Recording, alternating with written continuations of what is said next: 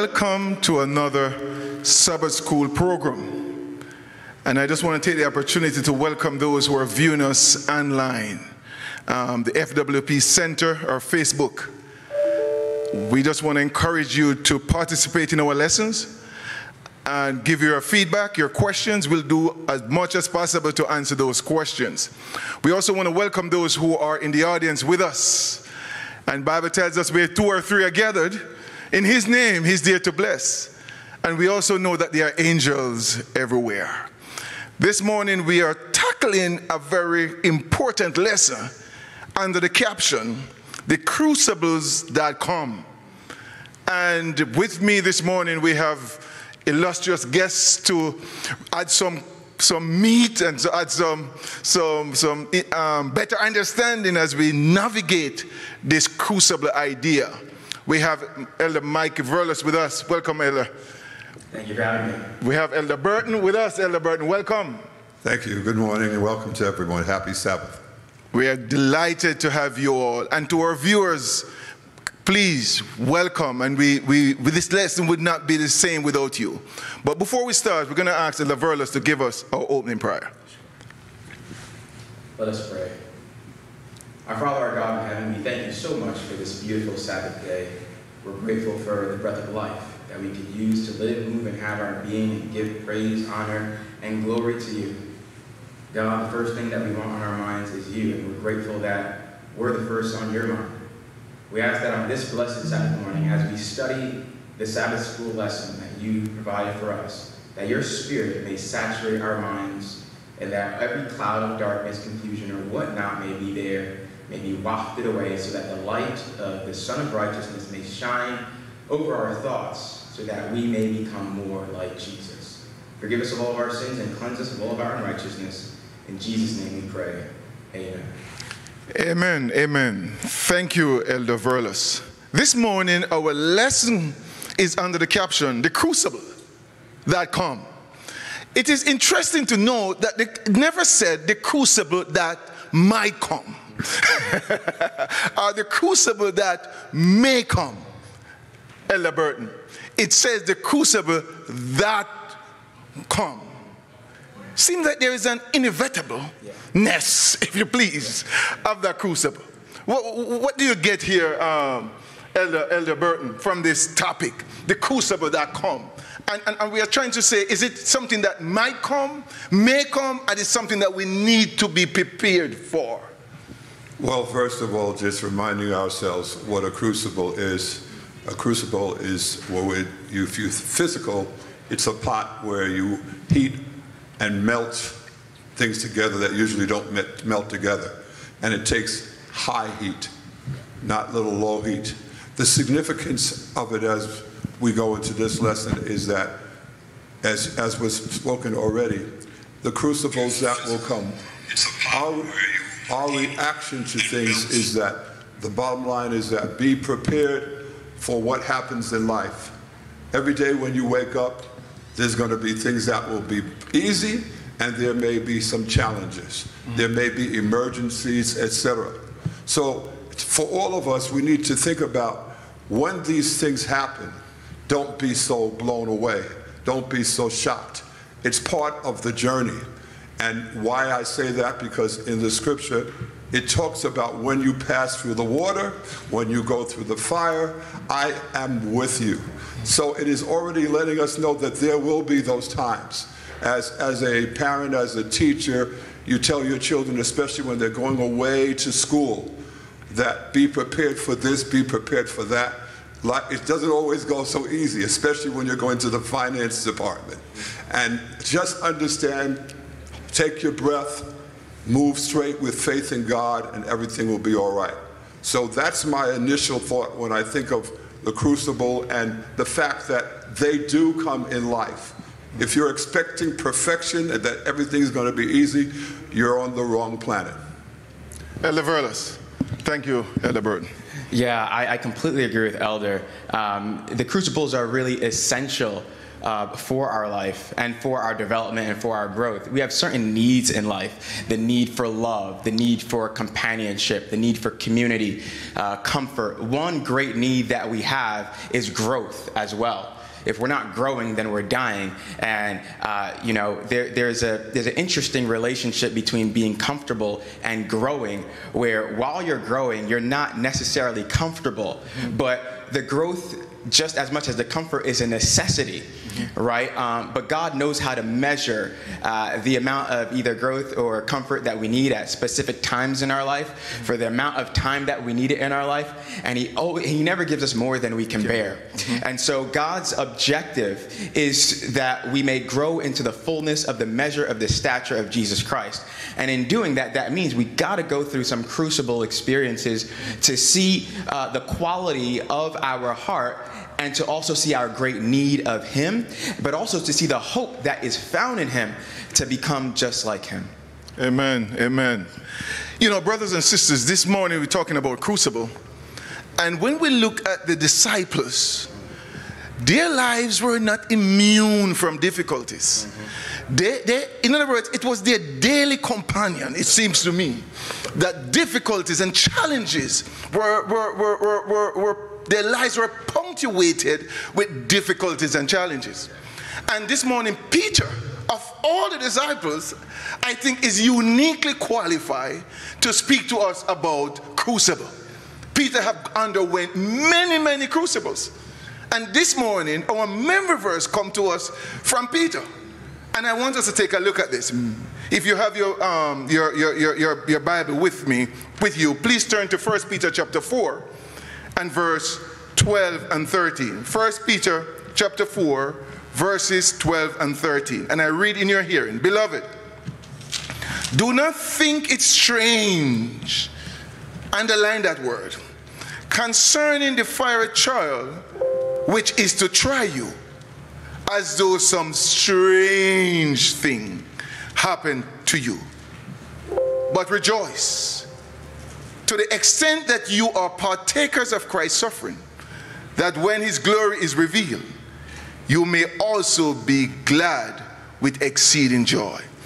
Um, Mike, here, here Peter is saying, in this Christian journey, in this path towards heaven, your life and my life, our lives, will not be immune from difficulties. And, and, and Peter is saying more so that we must have a certain type of attitude. yeah. You know, well, how do you see that, Mike? How, what is Peter trying to say to us in the 21st century? Mm. How we should deal with this, what we call fiery mm. trials. How should we deal with that? You know, I, I firstly I appreciate that Peter calls them fiery trials. That he didn't just say, no, it's fine, you'll be okay, this is not a big deal. Because that's actually the type of language that's used by um, abusive people. Mm-hmm. That, no, it's okay what you're going, you'll be fine. Oh, don't make a big deal, don't be too sensitive. No, it's a real problem. It really hurts. It really affects me on the inside. It's difficult and it is challenging. It's testing my very person. You know, some people break down, have mental, mental breakdowns. They, they, it's, it, it, sometimes things can be too much. So Peter acknowledges that they are fiery trials because that's what they are. They are fiery trials. Um, but then he calls us to not think it strange. So it's a call for your mind, um, while it accepts the the, the, the, the, quality of the trial, but also to have a different perspective on the trial. Mm-hmm. Because we never want for our sufferings to turn us into tyrants where I'm suffering of X, Y, and Z, and so that's why I'm rude. That's why I'm angry. That's why I can be a little bit bitter. No, God wants to cleanse all that stuff from us. So, um, so what God is doing through Peter, I believe, is He's meeting us where we are and speaking to us in a language that we can understand. Your trial is fiery. I know that it hurts you because it also hurts me. I'm there with you. But I want you to have a different perspective of that trial. I want you to look at it differently. So that's a good news that we can look at our issues differently. And don't count it strange. I am there with you. And look, at the end of it all, I might be taking you through the scenic route. It might be taking a little bit of a while on this journey, um, but there is an end result that I have for you, and I just need you to trust me a little bit throughout this way. Elder Burton, when we talk about trials, we're talking about, thank you very much, Mike. We talk about trials as a, as a definition we gave, we talk about like a container. And in that container, you have different metal in the container. And, and when pressure or heat is applied to the container, different metals react differently to the heat. Right. and I think Paul Peter is using this analogy. And the question is, how do we respond to the crucible? What kind of metal are we? I think that um, if you go, go back with Peter for a minute, um, Jesus told Peter something. Satan's going to sift you as wheat, as, as wheat. And I remember that, you know, the whole situation, Peter was upset with Jesus because Peter had a plan for Jesus that, you know, he was going to come over because he had just been praised for saying, Thou art the Christ. But then when Jesus said, This is not my kingdom, etc., Peter was very upset. And you know, and he and he also was upset because Jesus told him that, you know, you're going to deny me, etc. And he says, you know what, Peter, I want you to understand, you got to go through, but when you go through it, when you are converted, so there is something that happens at the end of each test. Um, Elder, you said that the pressure, yes, the pressure of the test. the pressure comes from the devil most times. Sometimes God allow, well, or God allows. Right now, we know that God is holding back the winds of strife. All right, He's not let the devil have his way completely. Even if you listen to the, even though when you listen to the um, news, you think that he's totally over, but God is still in control. Mm-hmm. But the point about it is, when you are going through that pressure, if you don't have that hope, and that's sometimes when we go through the challenge. In fact, we are encouraged that to give thanks when sometimes when we go through these challenges. Peter learned it a very difficult way. Mm-hmm. He denied his Savior, and he saw after he denied his Savior, Jesus was passing by and their faces connected, and he saw love. He saw Christ's compassion. And that's sort of what put him back together because Peter was as ripped his part almost as much as Judas was. Peter wanted to kill himself. He ran to the Garden of, of, of Gethsemane, as it says in the book, Desire of Ages, and fell on the ground where Jesus was praying. But that's where he was converted. He went through that hard trial. He went through that journey of, oh my, I messed up real bad. I can't handle this anymore. And by the way, that's one of the things that happens in the crucible. In the crucible, you feel like you can't make it. Mm. Let's not talk about it. And that's why, Elder, when it's mentioned fiery, mm-hmm. it's not something that feels good. Mm-hmm. I'm going to give an analogy that has nothing to do with me. Mm-hmm. I have never had a baby. I can't have a baby. But I had a, a, a niece yesterday that was giving birth, and I prayed for her journey mm-hmm. because the journey is not a happy, happy time when you're having natural childbirth. You're going through a crucible, mm-hmm. all right? And in the moment of it, sometimes you say, I can't handle this. Mm-hmm. However, however, the big conjunction when that baby comes out. Yeah. Joy. Joy. I don't know if it's perfect, perfect relaxation, but it's glad that it's over, but glad to see what has come. Mm-hmm. So the whole journey of the crucible Remember, we've got to add that evil one into this mixture because when you ask about the metal and what kind of metals, he creates the metals that will affect us each individual. Mm-hmm. All of our temptations are not the same. Right. Mm-hmm. Not everyone is an adulterer, not everyone is a, a, a, thief, not everyone is a gossiper. By the way, that can be a sin too. Mm-hmm. All right? Each one of us has a challenge, and he finds that metal but whatever it is, He will put pressure. He'll put us in situations that will make our weaknesses come out, or in fact, try to induce our weaknesses to come out. But the hope is that we are seeing the end, not just what we're going through, and knowing that God will bring us through. Mm-hmm. Peter's testimony is strong because he has been through it. Amen. So, so, so what we're gleaming here, Mike, is that crucible, challenges, tests, difficulties must be expected by the Christian. In other words, and if you expect something, it seems, it, it, it seems, Brother Glenn, if you expect something, it seems like your attitude may be different. Yeah. Yeah. And it, I want to transition now to Sunday about surprises. Mm-hmm. You know? okay. so you saw where I was going. Okay. You know, there are some elements of surprises that are still good. Maybe when Mike popped the question, right? That surprises her, but it's a good surprise. so it's a good surprise, you know? Uh, a birthday um, gift that you did not expect, a good surprise. Uh, any other surprises? Maybe a friend you have not seen. You know, I just was reconnected to a friend I have not seen for 40 years.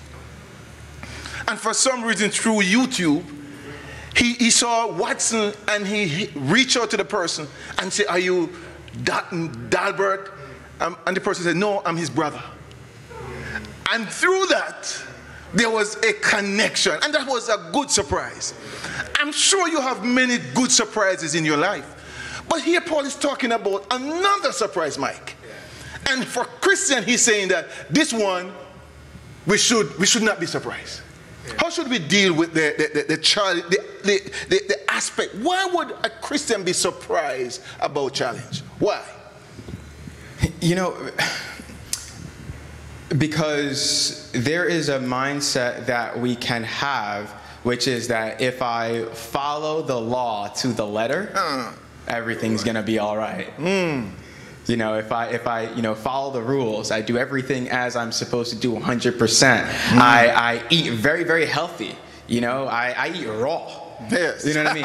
I eat raw. You know, I'm, I'm just going to like the extreme of per, of quote unquote perfection, but then after that, you you you you you you you deal with a consequence that you wouldn't have expected to deal with because you quote unquote did the right thing you know and so now you're shocked you're how could this happen to me mm-hmm. i was doing what i should have been doing i was and then you keep on talking all about all the things that you have done uh, not realizing look i think i might have an eye problem right and and and we miss the fact that look the the, the trials that come it is God allowing it for his reason. I mean, we'll get into that a little mm-hmm, bit more. Mm-hmm. But you think of people like Job, for example, mm-hmm right, who went through so much, it wasn't because of anything wrong that he did, mm-hmm. but rather if anything, it was because of the right thing that he did. exactly. Right? And then yep. at the end, God said, Job said of me that which was right. Mm-hmm. So um, I think that we tend to get surprised because, like children, for example, you know, parents will tell them, look, go to school, get an education, do this, do that, do this, do that. And then when you get a certain age, things are going to work out for you. And then when, you when they get that certain age, things are not working out for them. And they look at their parents and say, wait a minute, what's going on? Exactly.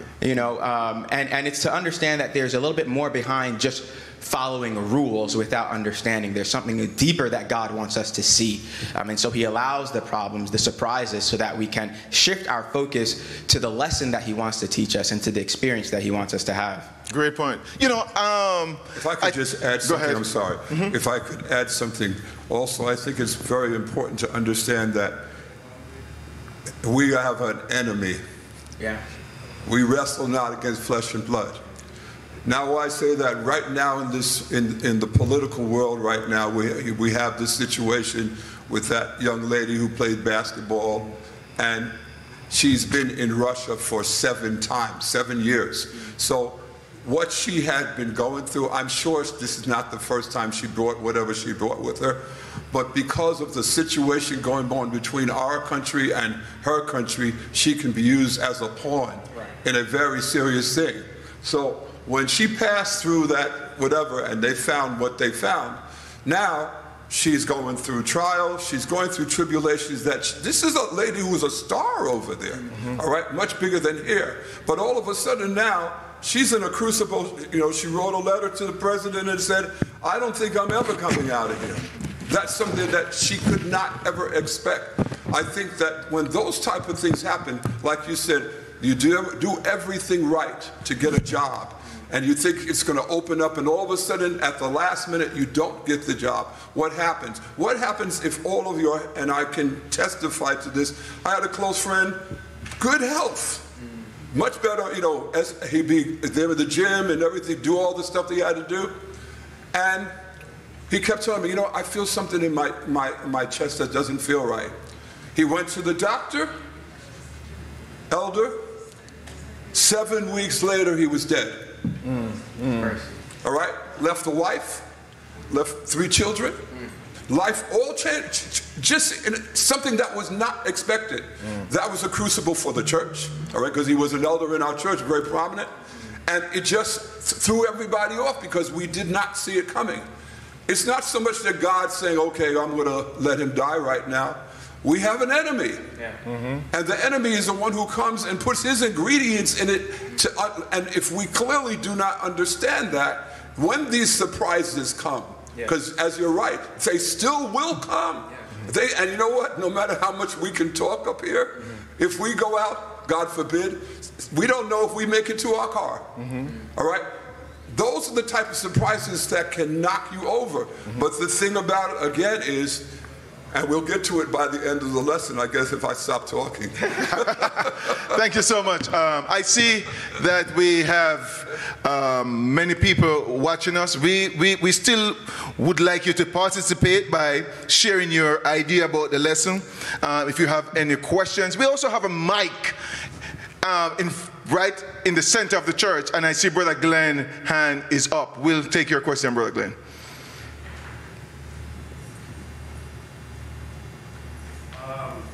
There's this thing about surprises. Mm-hmm. Um, the Bible says, In all thy ways acknowledge him, mm-hmm. and he shall direct thy path. Mm-hmm.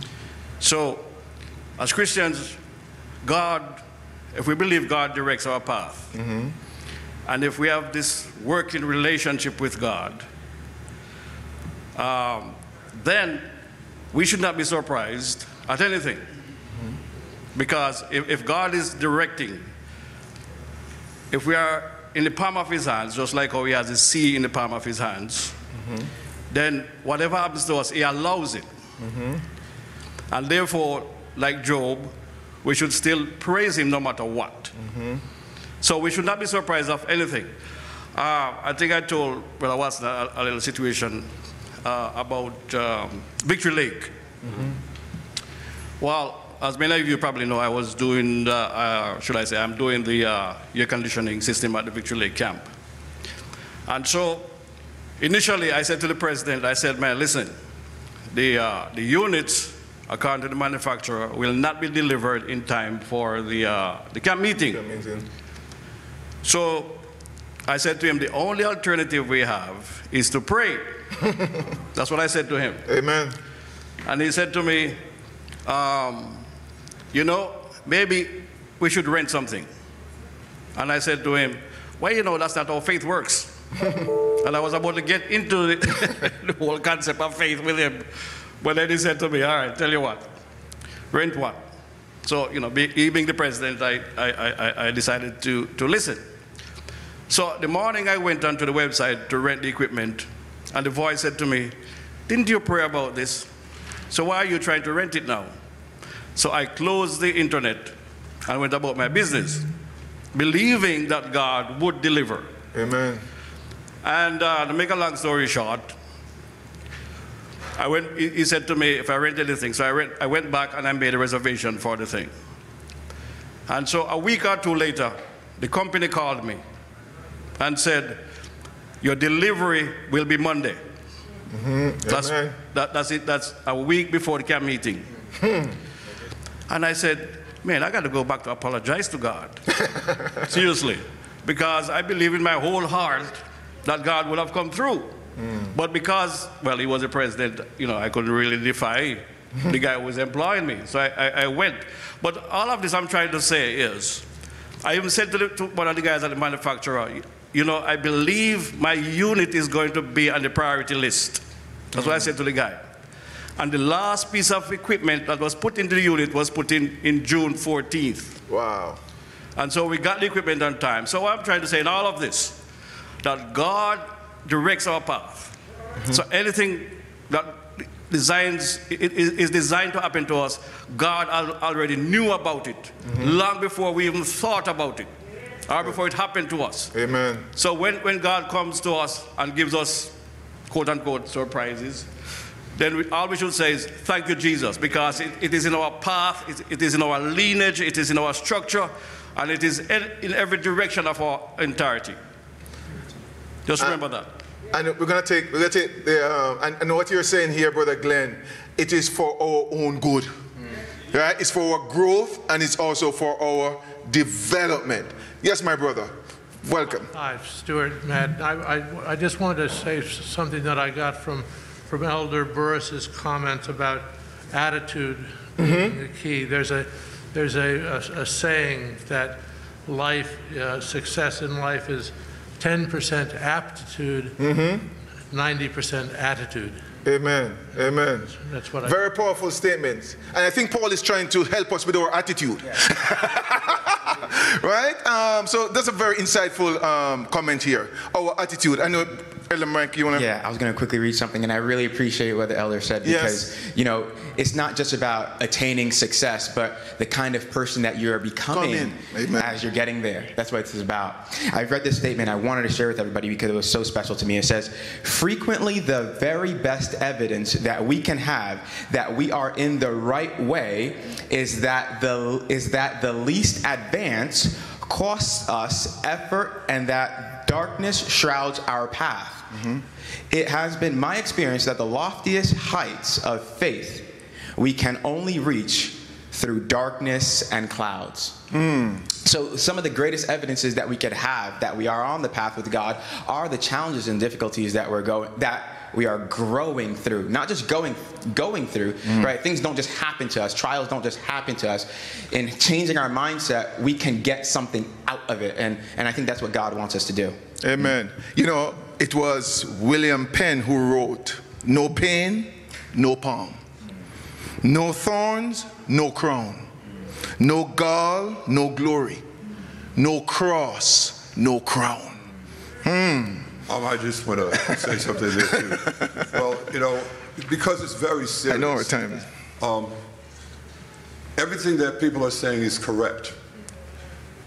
And at the same time, it doesn't solve the problem in the true sense of the word. Because if you walk to, especially with young people today, young people have questions about everything, and they're challenging whether or not there's God. All right? And with all the things that we see, because I was telling somebody the other day, when we watch the news, the one thing that we can expect, cannot expect from this, the news, is to praise God. What the news will do is tell you everything that's wrong.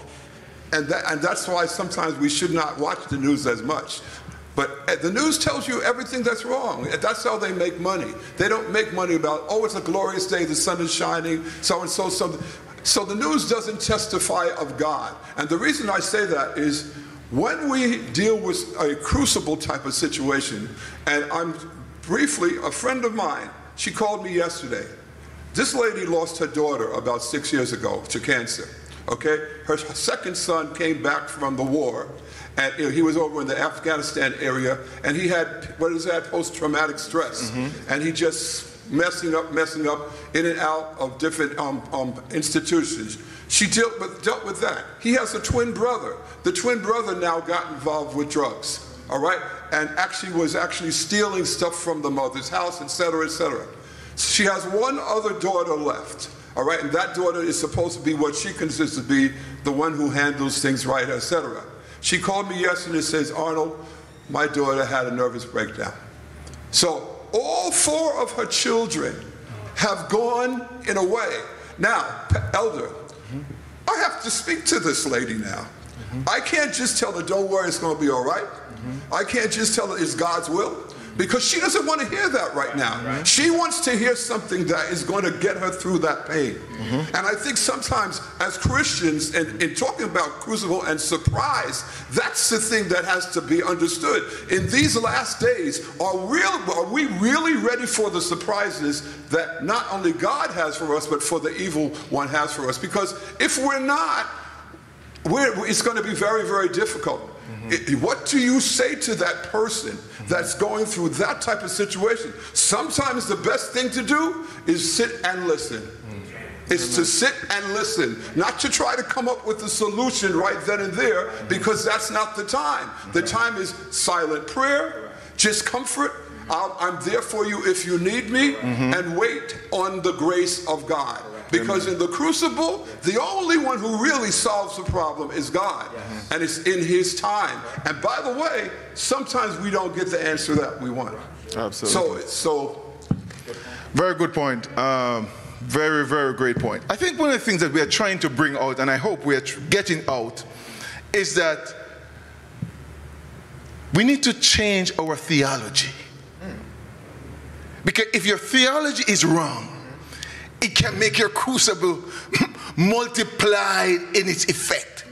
In other words, if you expect something that God did not promise, imagine what that can do to your theology. What can that do to your Christianity? If you expect Christianity to be a bed of roses, which was never promised, imagine when trial comes. And here Paul, Peter is helping us to understand we need to change that way of thinking. And we need to understand that while we're living in this great controversy between what? Good and evil. Right. There are going to be what? Challenges. There are going to be difficulty. And none of us is immune. I don't care how, how well you eat. I don't care how long you pray. I don't care how long you have been in the church. You and I are not immune. I think that's what Paul is saying. Peter is saying, and we must expect things bad to happen to us. And finally, I would say, before I jump onto uh, Monday, brothers and sisters, this was not a part of the original plan. Can you say amen? And because it, is, it was not a part of the original plan, it will not last forever. Amen. Amen. We could stop here. Yeah. It is not going to last forever. But since we can't stop here, we're going to jump on to Monday. Mike, according to 1 Peter 5 and verse 8 to 11, he, Peter is saying we are learning that one of the major causes of suffering in this world is because of Satan. One of the major causes of suffering is because of Satan. And I want to invite us to turn our Bibles to 1 Peter 5 8. I know that's a very familiar scripture for many of us. All right. Right? 1 Peter 5 and verse 8. Yes. And I read in your hearing. He said, Be what? Sober. Be so why, why why should I be sober? Mm, mm. He said, Be vigilant. Why should we be vigilant? Mm. Can we can we get the why? Because your adversary the devil walks As lions. walks mm-hmm. about like what? A roaring lion seeking mm-hmm. whom he may devour. Right. Mike, Yeah. question to you, Brother Burton.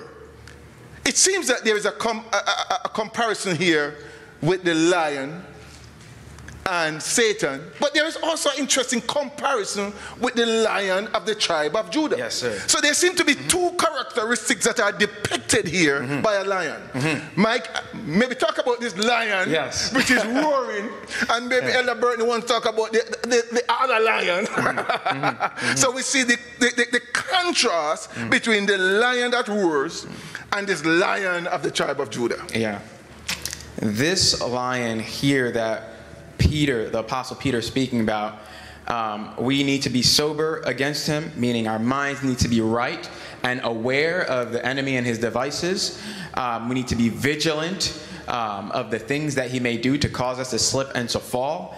Um, and understand that he's out to get us. He's out for keeps. He wants us dead in our sins. Okay, he want, and that, that's the purpose of persecution. Like in the Dark Ages, the devil, through the papacy, through the church in that day, was working to destroy the people of God in their sin. That that was the objective um, of the enemy of all souls.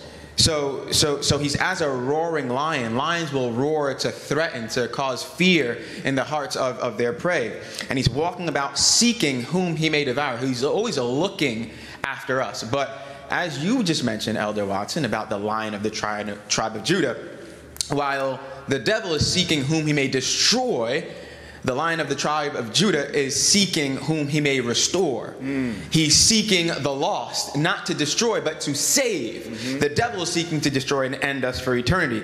So um, the devil always has a counterfeit against what God has.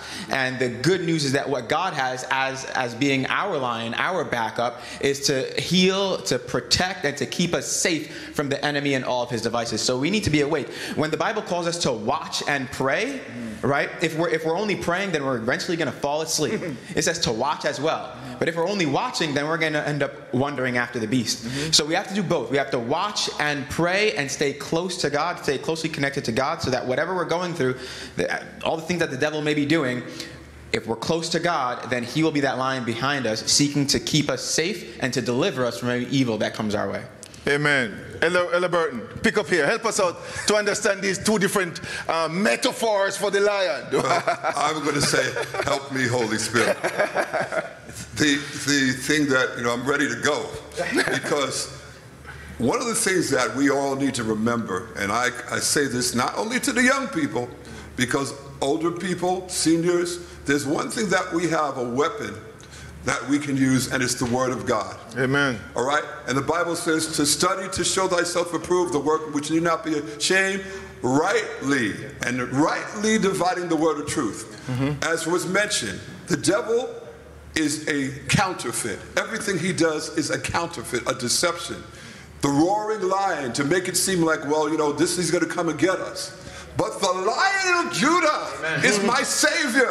The lion of Judah died on Calvary's cross. He lived a perfect life, and that life is made for me to grab onto for the weakness that I have. The lion of Judah is the one that is going to save us and get us through. So that's why it says at the end of the lesson, it says, but may, this is first, I'm not the end of that, that, that portion. It says First Peter 5.10, but may the God of all grace, who called us to his eternal glory by the Lion of Judah, Jesus Christ. Mm. After you have suffered a while, hold on, we will go through suffering. Mm-hmm. He says, but what will happen? Perfect, establish, strengthen, and settle you. Mm-hmm. So the Lion of Judah will come and do what we can't do for ourselves. Mm-hmm. So when you when you are making the comparison, There's none. There's none. There's Amen. none. Because my Jesus has taken care of everything. But it's the point and the question I have to ask myself. Arnold Burton, do you know Jesus? Yes, mm. that's the question. Do you know him as your lion? Mm. Mm. Or are you looking at the other lion chasing you and worried so much about looking at chasing, not realizing the real lion has already taken care of the problem? Amen. What a, what, a, what a powerful analogy. You know, it, it brings to my mind John 10 and verse 10. He says that the devil comes to what? Yeah. To kill, to steal, and to destroy. That's what the lion does, right? In this metaphor, right? Because he's roaring and he's trying to destroy. But there is another lion. But Jesus said, But I have come. Yes. Th- th- That's the comparison, right? Uh, the contrast, if you please. I have come that they might have what? Have life. And not only life, but abundant life. Right? So we uh, can have this assurance. I, I, I just want to acknowledge our online um, viewers. I see Sister. Sister Angela says, Happy Sabbath, brethren. Let me say that crucibles are rough. And we say amen for that. But has a purpose. Yes. Bible says those that the Lord love, he chastens. It- There's a purpose. And the purpose is what?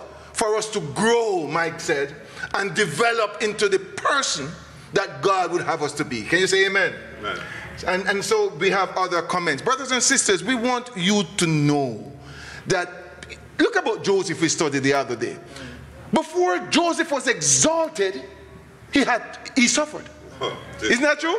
Yeah. He went through a lot. But in the end, he was what? He was exalted. Became what? Second in charge in Egypt. Look at David. Running, hiding, and then became what? King. Look at our Savior Jesus. Suffered much, but at the end he was exalted. These are forerunners for us. So in our trials and our difficulties, let us not focus on the trials.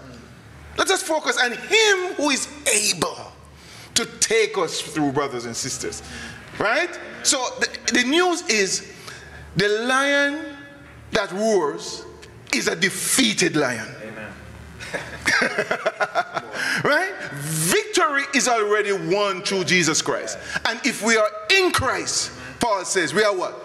New creatures. Mm-hmm. Right? And so we can experience victory. I know our time is running. So let's jump and talk about the crucible of Satan and the crucible of sin.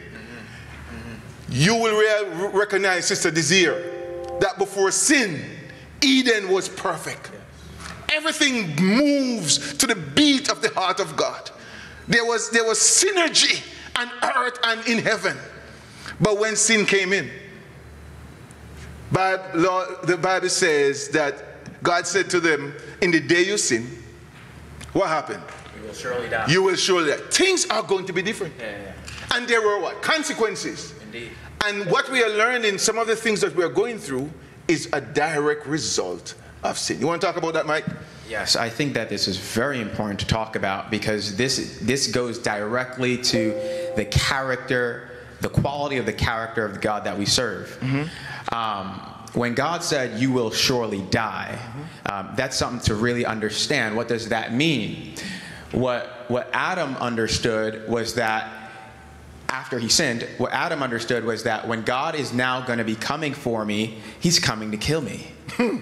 that, that's what Adam understood.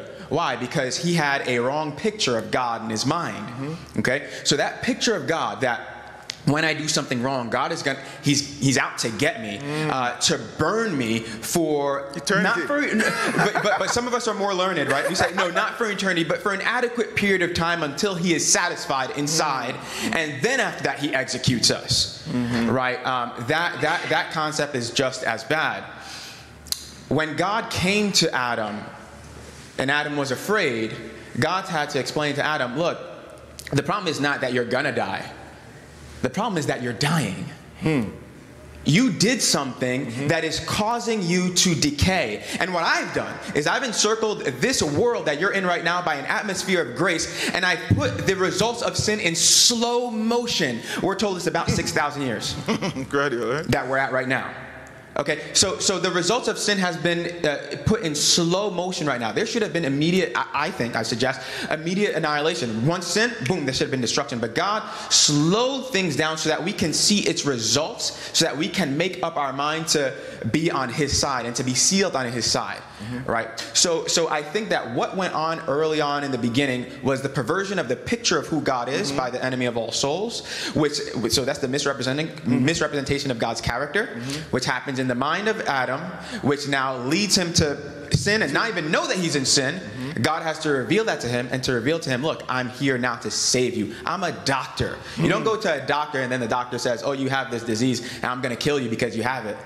You know, no, you, the, the doctor is there to heal you, but if you don't take his advice, the medication, the, the tips that he gives you, then the natural result of your going against his uh, uh, suggestions is going to be your death. I see our time is fleeting away. Um, we we, we want to. I want us to just take a quick look at Romans 1:18. He said, "For the wrath of God," you know. And when we read that, I don't know what conjecture you have in your mind of who God is. For the wrath of God is revealed from heaven against ungodliness and unrighteousness of men who suppress the truth in unrighteousness. The wrath. When you when you hear the wrath of God, Elder Burton, wh- what, how, how do I explain it to those who are viewing us and, and, and this beautiful audience in front of us? The wrath of God. Is God sitting up in heaven? Can't wait for the opportunity, Elder Jackson, to just hit me in the head, to punish me. It's just God sit there, just can't wait for me to mess up Sister Alvaranga that, so that he can punish me. Is that, is, that, is that the type of God that we serve? What is this wrath of God? That's not God. that is a one of the things that, and to tie in with this, when Adam sinned, that's the first time he knew fear. He wasn't afraid of God. He- there was no need to be afraid of God. He didn't even know what fear was. Mm-hmm. Fear is a suggestion of the devil. The devil whispered, Oh, God is coming. You better be back, back, because he's going to get you. He's going to get you. Adam never had that relationship with, with, with God. He had, him and Eve were there and they never worried. But going to the, the point about wrath, it's the wrong word. Mm-hmm. All right? Mm-hmm. It's the wrong phrase. Mm-hmm. The wrath of God, God at this point, when he's not that he is planning to do something, he lets the consequences happen. All right? The wrath of God is allowing the consequences of that we make, that we bring upon us to come. The consequence of disobeying God, disobeying God was death. But death in a way that they did not understand. The wrath of God sometimes allows God sometimes allows us for our benefit mm. to learn a lesson from something that we did that was not good for us. Mm. All right? many people who have sickness from eating the wrong stuff or drinking the wrong stuff, and then later on the doctor says, you know, this is a cause because you've been eating certain things or you haven't. And he's, oh, I never thought about that. And then you realize, well, maybe God was trying to teach me. I'm glad I'm still alive to understand and make a change. Mm-hmm. The wrath of God, and it's a very, very important point because the world is focusing on it as if it is God being so angry and mm-hmm. God's going to get you mm-hmm. and God hates you. Right. And that's why a lot of people are turning away from, from the church. Mm-hmm. All right? And not just young people. In fact, I think young people will run to the church more than the old people. Hmm. All right? Because it's not just something to hold the Bible and read it, it's do you believe it? Do you understand it? But so when we see those terms, and sometimes we as Christians, we love to jump onto those terms as if I want God to get them. you know, sometimes uh, you ever been in a conversation and you're talking about something that somebody did, did something, and the person says, "Oh, don't worry, God's going to take care of them." Mm. God's going to take. You should never say that. If God's going to take care of them, God's going to save them. That's that's what He God's takes care. That's what He takes care. God's job. oh my! God's job is not to make us be lost. Yeah. It says God sent not the, His Son into the world to condemn the world, but that the world through Him might be saved. Amen. So, so Amen. understanding the word wrath, it's really digging in your scripture yeah. and, and going through all the phrases, and you'll start to see that wrath doesn't mean what you think it does. Right, right. God's not coming with joy to get the wicked, He's coming to get His children right. mm. to save them. I, I, wish we had time to elaborate on this lesson. But eventually, what, what this wrath of God is, as I understand it, Mike, is God giving us up because we refuse to listen. Yes. He said, Oh, Israel, why would you suffer? How much I want to have you under my wings. And sometimes God come to the point, and we're going to get into that hopefully the next lesson, where God say, You know what, Israel, I don't know what else to do. Mm, mm, mm. I'm going to I'm gonna make you hit your nose. And sometimes as parents, and sometimes as parents, we do everything to protect our children. And at the time, we're going to have to say, you know what, I'm going to have to make you hit your, buck your foot. Because there's nothing else I can do. Uh, do I have a witness in here this morning? Somebody say yes, amen. Sometimes you have done everything, and you have to say, okay, honey, I'm going to have to make you hit your nose. And sometimes God has to take that stand. I, I, know we don't have enough time. I say, brothers and sisters, if you have a point, I sure you have a point. Because the truth is, we all go through crucibles. What have you learned through your crucibles that you would like to share with me who is going through my crucible now? Are those who are viewing and that you want to encourage them? Anybody? The mic is there. Please feel free. Tell us how you overcame. I, I, and I see what time is running. Anyway, let's jump onto Wednesday lesson talk about crucible of purification. There's only need for purification if there is if there are impurities. Yeah, yeah, yeah, you don't need to be purified if you are if you all have it together. If you're already righteous, why do you need to be purified? Purified purification implies that there are impurities in our lives that need to be make right. And it seems to me, Elder Burton, that crucibles is a means yes. of purification. How does that work? Well, the same thing as we talked about what the crucible is. You're pouring the metal and you're, you're purifying the metal. Mm-hmm. You know, he's the, the Bible says, for he is like a refiner's fire. All right? He takes and he cleans out all the dross. Sometimes when you you have the metal gold, the gold doesn't just look perfect when it's sticking out of the ground. It has other metals that are connected to it. And when in the purification process, all the impurities are removed. Mm -hmm. So that is what God in our through our experiences allows to happen to us for us to lean on him to, to to call on his name that's when impurity is being removed. Every time we call on the name of jesus an impurity is being made. Every time we say lord i trust you even though i'm going through a difficult time that's when the impurities are being removed. As long as we keep doing that and going in that direction we're becoming more and more refined. But if we fall back sometimes the dirt falls back on us and we've got to review what got us to that point and move away from it by the grace of God.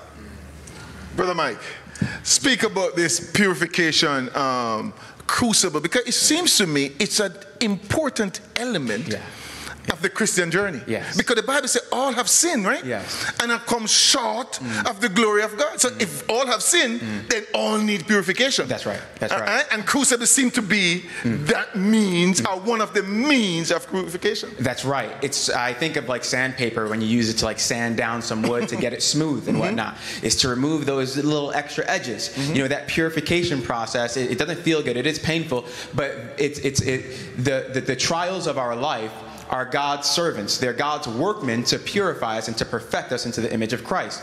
When we think about Christ, um, the Bible says that uh, Christ was made perfect through obedience, right? Now, it's not that there was any impurity in him. There was not. He was perfect, but he went through the same process as we did. But um, uh, what, what, what turned out, what turns out is that um, there was perfection in him. There was no impurity. So that now, if he dwells in us while we go through the same thing, while we continue through our purification process, all those things that are in us will be removed so long as Christ is within. I just want to give one quick little point about the wrath of God because God wants to remove wrath from us. Mm-hmm. Because the Bible says that um, the wrath of man worketh not the righteousness of God. Mm-hmm. So his wrath is completely diametrically opposed to ours. Mm-hmm. His our wrath is if I'm angry at somebody, I go to them and I beat them up type of thing. But with God, as you said, Elder, he backs away. There was nobody in this world, listen carefully, there's nobody in this universe who suffered the wrath of God to the degree that Jesus suffered it on the cross of Calvary. And what happened? Jesus said, Father, Father, why hast thou forsaken me." forsaken me? So when we go to Isaiah, Isaiah chapter 59, you don't have to go there, but rather it's Isaiah 54 and verse 8. There, there it talks about what the wrath of God is, and it explains that in a little mercy I turn away Wait, turn from away. you. Mm-hmm. So that's the wrath of God. And it's important for us to understand that because in the third angel's message, it talks about the wrath of God. And we who are to preach that message need to do it clearly and not scare people to death mm-hmm. with that message, but rather show that it's a message of a life and of God respecting our decision to either be on His side or uh-huh. remain on our own. If we're on His side, then He will purify us and make us just like the Lamb mm-hmm. who is on Mount Zion in Revelation 14. I hope we made that clear. Mm. The wrath of God is basically God stepping back and say, okay, have your way. And reap what you have sown. That's the wrath of God. It's not that God sitting there just waiting for the opportunity to punish. I say over time, eh? That doesn't make God soft. no, not at all. It's, it takes more power. And reap what you sowed isn't the end mm-hmm. unt- until the final wrath of God comes when Jesus comes after. Reap what you sow now so I can save you. Mm. I see, See that you did something wrong mm-hmm. And let me pick you up and help you get back on the track. So sometimes the wrath of God is to teach us something that can hopefully eventually save us. I see I'm getting the wrap up sign. Yes. And we are having so much fun. We just want to thank our viewers. I see Sister Benson there. Give a shout out to Sister Benson. And I see some Lorraine and others um, who are viewing us. So we look at some of the causes of the crucibles. We look at sin. We look at, at, at- at Satan. Right? We also want you to understand, brothers and sisters, that there is also maturity as a result of crucible. And maturity in- implies that there is what? Sister Kenisha, it talk about what? Growth. It talks about um, changes that take place in one's life as a result of crucible. So it's implying here, Mike, that there is a positive side. we might be emphasizing that, but there is also a positive side to crucible. How would you? Um, and you know, as we as we as we deal with this crucible maturity, I guess we could try to do the wrapping up here because I, I, we don't have much time, unfortunately. it's definitely very, very difficult. But I, I oh, it, no, no, go ahead. So what I would so what I would say in regards to the maturity, um, it's what it's it's that word growth that we use. I think about the children of Israel there when they were at the foot of Mount Zion, uh, not Mount Zion, pardon me, but Mount Sinai, and God was speaking in loud, thunderous tones. He had to speak to them that way because they were as children, immature. But that's the only way that He could reach them. But what God wants us to do is no longer stay at the foot of the mountain, but to mature and go up to the summit of the mountain, Mount Zion, where we find the 144,000 Exactly. who have the understanding of God and who He is, so that we can be settled in the truth, both intellectually and spiritually, whereby we cannot be moved by His grace. Amen. Mm-hmm. Hello. I think that the, the because of time, but I'm going to leave this. The effectual prayer of a righteous man availeth much. Mm-hmm. In order to get through anything, you have to have a relationship with God where you're communicating with Him. Mm-hmm. And, and to handle any crucible, you must have a relationship with God. Mm-hmm. So wherever you are, how old you are, young you are, whatever, the thing is to work on your relationship with God, mm-hmm. and that will get you through all the crucibles of life. Amen. Thank you so much for viewing, for listening. Here, Paul talks about God allowing a crucible in his life to keep him humble, to keep him from falling away. And sometimes the difficulties that we face could very well be the means of saving us. It's God's way of keeping us humble. It's God's ways of keeping us on the path of righteousness. So, brothers and sisters, whatever we're going through, I just want to encourage us to remain faithful. Because this is not the end. The victory is already won. The victory is won through Jesus Christ dying on the cross. And if we die to our sins, we can also be raised to walk in the newness of life. Not, not, not, not next year, but today. Bible says, if you hear my voice, harden not your heart. This has brought us to the end of our Sabbath school. As you notice that our, our, our, our resident host was not here today, and he will be back next week. Thank you for viewing. Do have a happy Sabbath. Divine service starts with Dr. Sean Dowding. Happy Sabbath. No, there is no, there is not, it's not operational.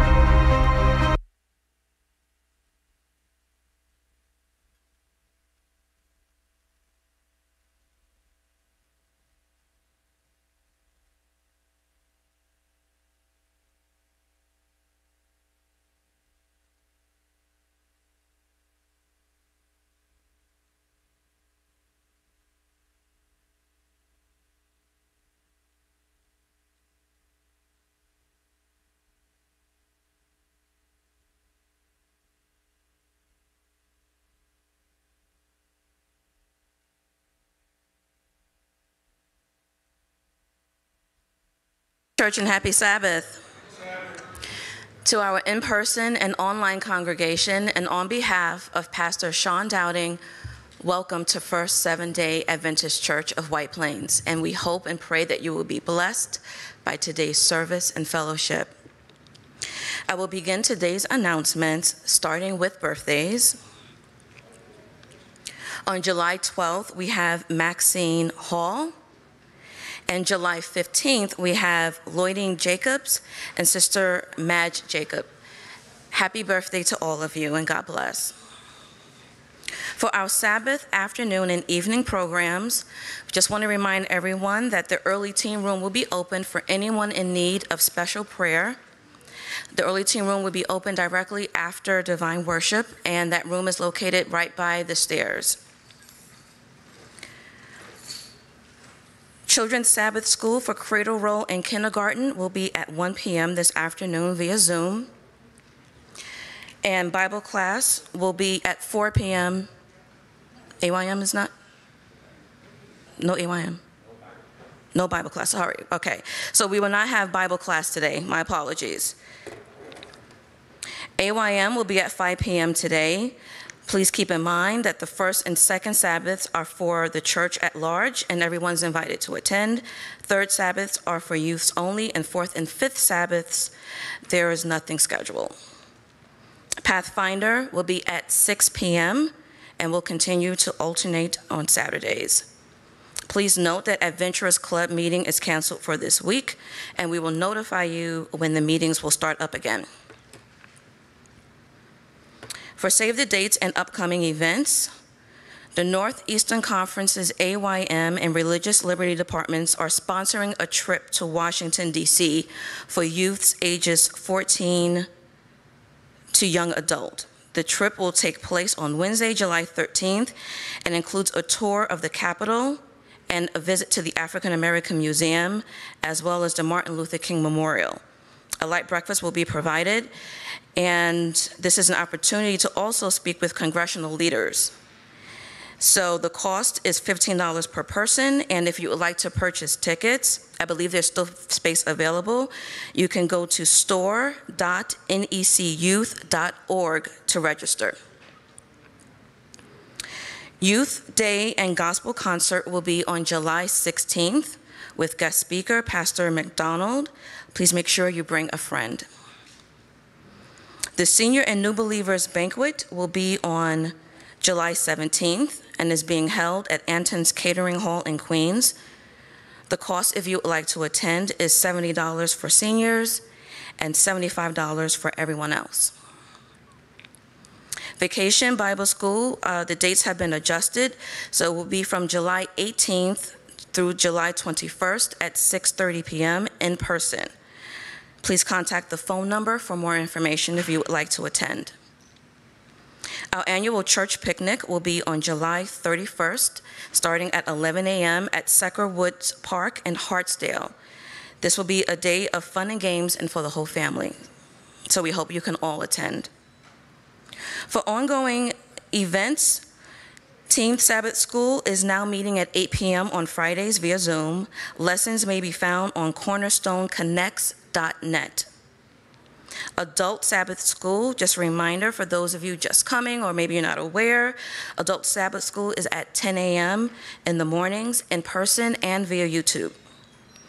Primary and Junior Sabbath School is at 10 p.m. in the mornings via Zoom. And our food pantry distribution continues on Thursday afternoons from 1 to 3 p.m. and Saturday evenings from 9:30 to 10 p.m. All are welcome. For our prayer and fasting schedule, we want to remind everyone of the prayer and fasting schedule. There are prayer lines for you to call during the week. And just a reminder that our Wednesday night prayer meeting is at 7:30 and we also have tips for fasting. We also want to invite you to record your testimony. If you would like to share your testimony, please record a two to three minute video or contact Elder Adrian Alvarenga for help or support. For clerk's announcements, I do want to remind everyone uh, for our board members and department heads that meetings will recommence in September with the new pastor, so we will confirm those dates when the new pastor joins. And for anyone that received the pastor envelopes from Sister Clark, uh, please return them to her if you have misplaced them or if you would like to receive one. She's sitting right up here in the front, so please, uh, please give her uh, the envelopes or let her know if you would like one. We've had um, a few passings, so I do want to make announcements for those funeral arrangements. So arrangements have been made for Pastor Willard Hall. The memorial service will be at Willard E. Latimer's Son Funeral Home on Tuesday, July 12th from 5 to 8 p.m. And the funeral will be held on Sunday, July 12th at Linden SDA Church in Mount Laurel. I'm sorry, in Laurel, Laurelton, New York. And the funeral for Donald Burke will be held at New Hope SDA Church in Georgia on July 24th at 10 a.m. Please make sure you are taking a look at the Sabbath lineup that has been emailed to everyone and posted in the FWP chat for any other events or announcements that I may have missed. Divine worship begins now with Pastor Richardson as our guest speaker, so please prepare your hearts and minds for worship. And I'm sorry, I did forgot forget that Elder um, Elder Webb does have a few announcements that he's going to make first. God bless.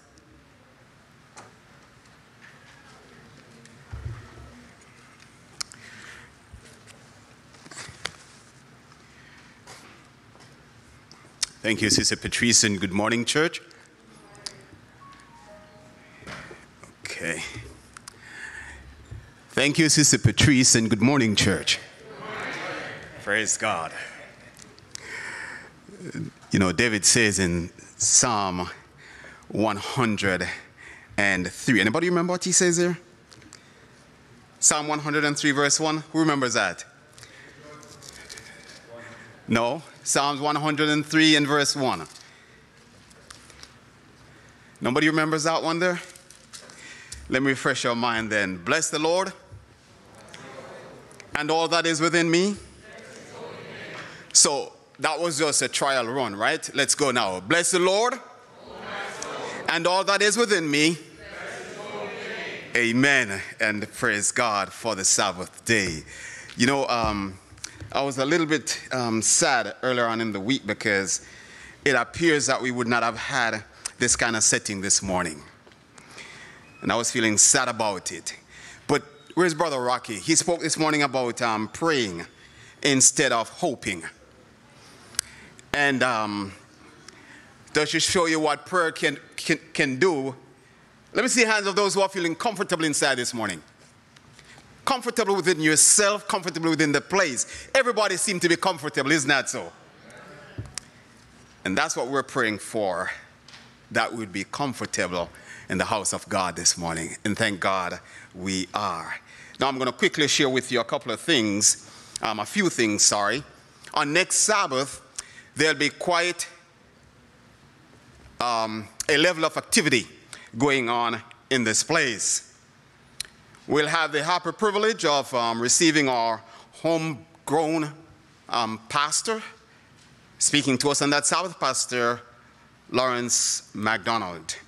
It will also be the Sabbath when we will say our farewell to Pastor Dowding and his family as they transition to his new post, his new calling, his new area. There'll be a baptism next week, Sabbath also. And um, the candidates, I'm not sure if they are here, but if you are here, we'd like to meet with you prior to next week's Sabbath morning. There'll also be baby blessings, and there might be other activities. Nonetheless, we are looking forward to a happy Sabbath, a blessed Sabbath, but a full, I mean, filled day next week's Sabbath.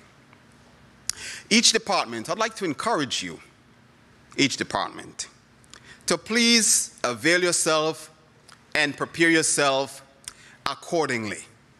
It might not be your department that's doing something, but on next week's Sabbath, we'd like all of our heads of department to be present as we say our farewell to Pastor and his family.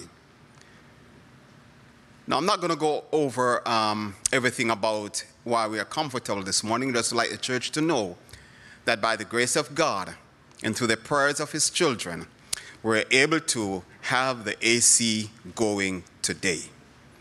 Now, what we want you to do is to enjoy the blessedness of this day in worship before God. This afternoon, right after service, we'll be celebrating with our students, graduates, those who, through their resilience and conscious vigilance, are made recipients of a happy ending in the milestones of their academic life. We will join the Education Department in congratulating them and their parents and other family members downstairs right after worship this afternoon. May I also share with you that our pastor is vacationing with his family as of the first of this month. Let us continue to keep Pastor Dowding and his family in our prayers. In our midst are some visitors, and it's my happy privilege to welcome them into our midst. We have Chernell Robinson. Chernell, if you're here, would you just raise your hand? There she is. Good to have you. And is that your family with you, Chernell? We praise God for Chernell Robinson and her family. Let the church say amen. amen. Then we have May Matledge or Matledge. Oh, hi. Welcome. You know, I saw the two little girls walked in this morning and we welcomed them inside. And shortly thereafter, I saw a lady come running. And I said to her, I'm sorry, but we took your children. She looked at me, she smiled. Because I believe she's saying, well, they're in good hands. Praise God.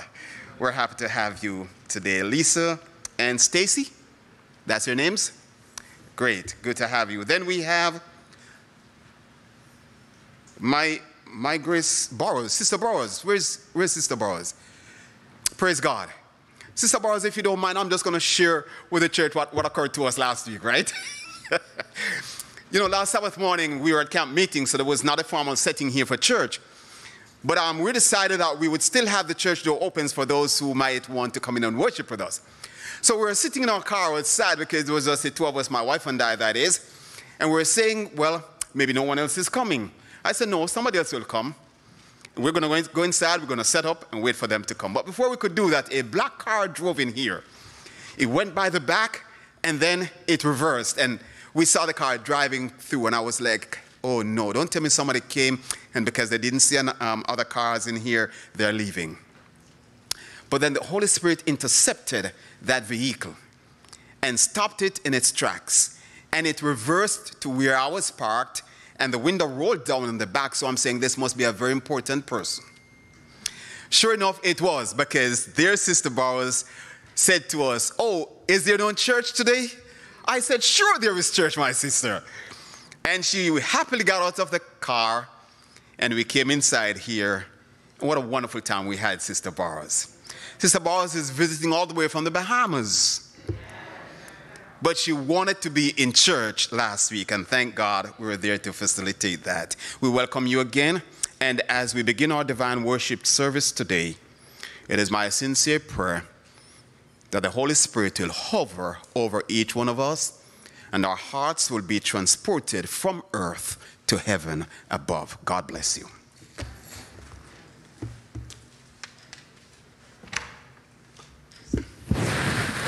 Ah.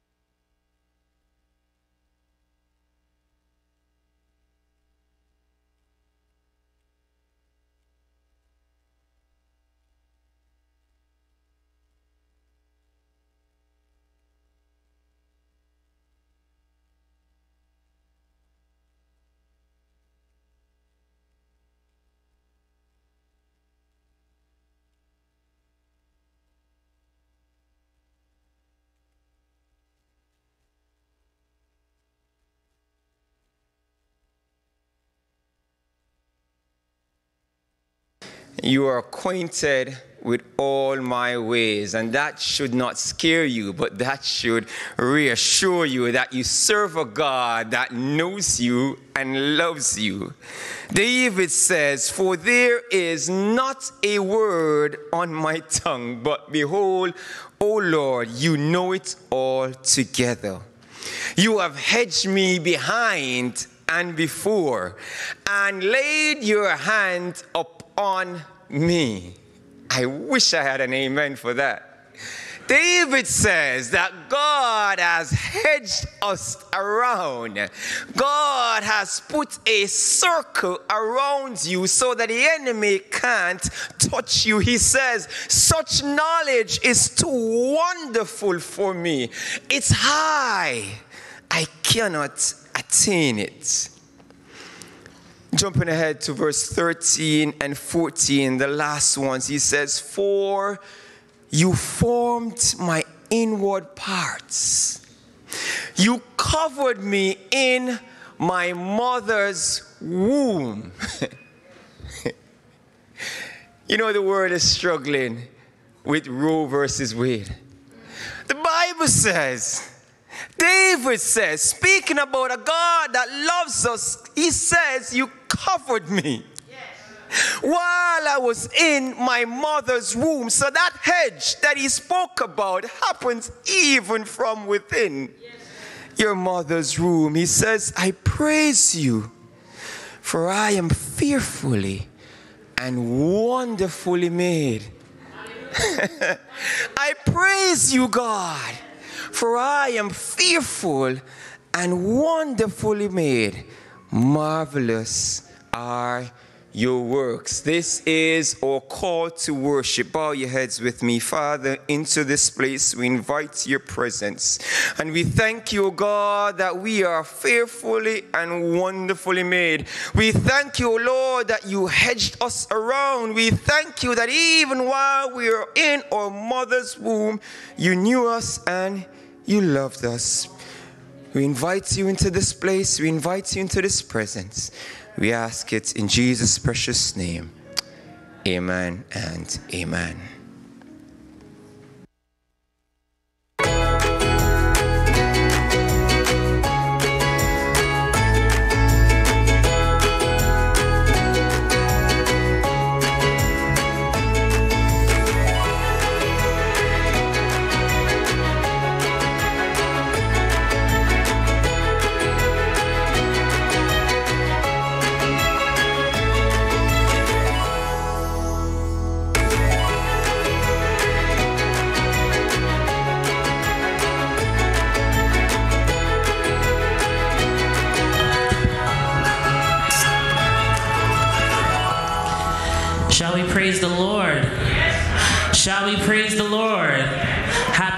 Everyone. Let me try that again. Let me just test the room. Shall we praise the Lord? If you're glad to be in the house of the Lord this morning, can we just put our hands together? Hallelujah. God is great and greatly to be praised. We're getting ready to sing our opening hymn. It's on 524. Tis so sweet to trust in Jesus. We can stand on our feet all over the room. Hallelujah.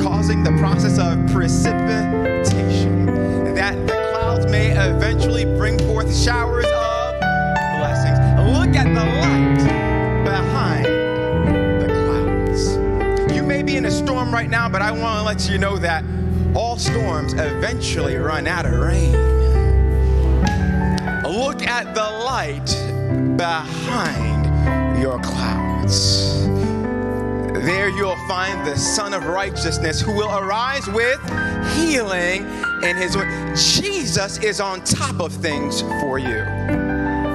I don't know what it is, but I can tell you that Jesus is on top of things for you. He knows your name.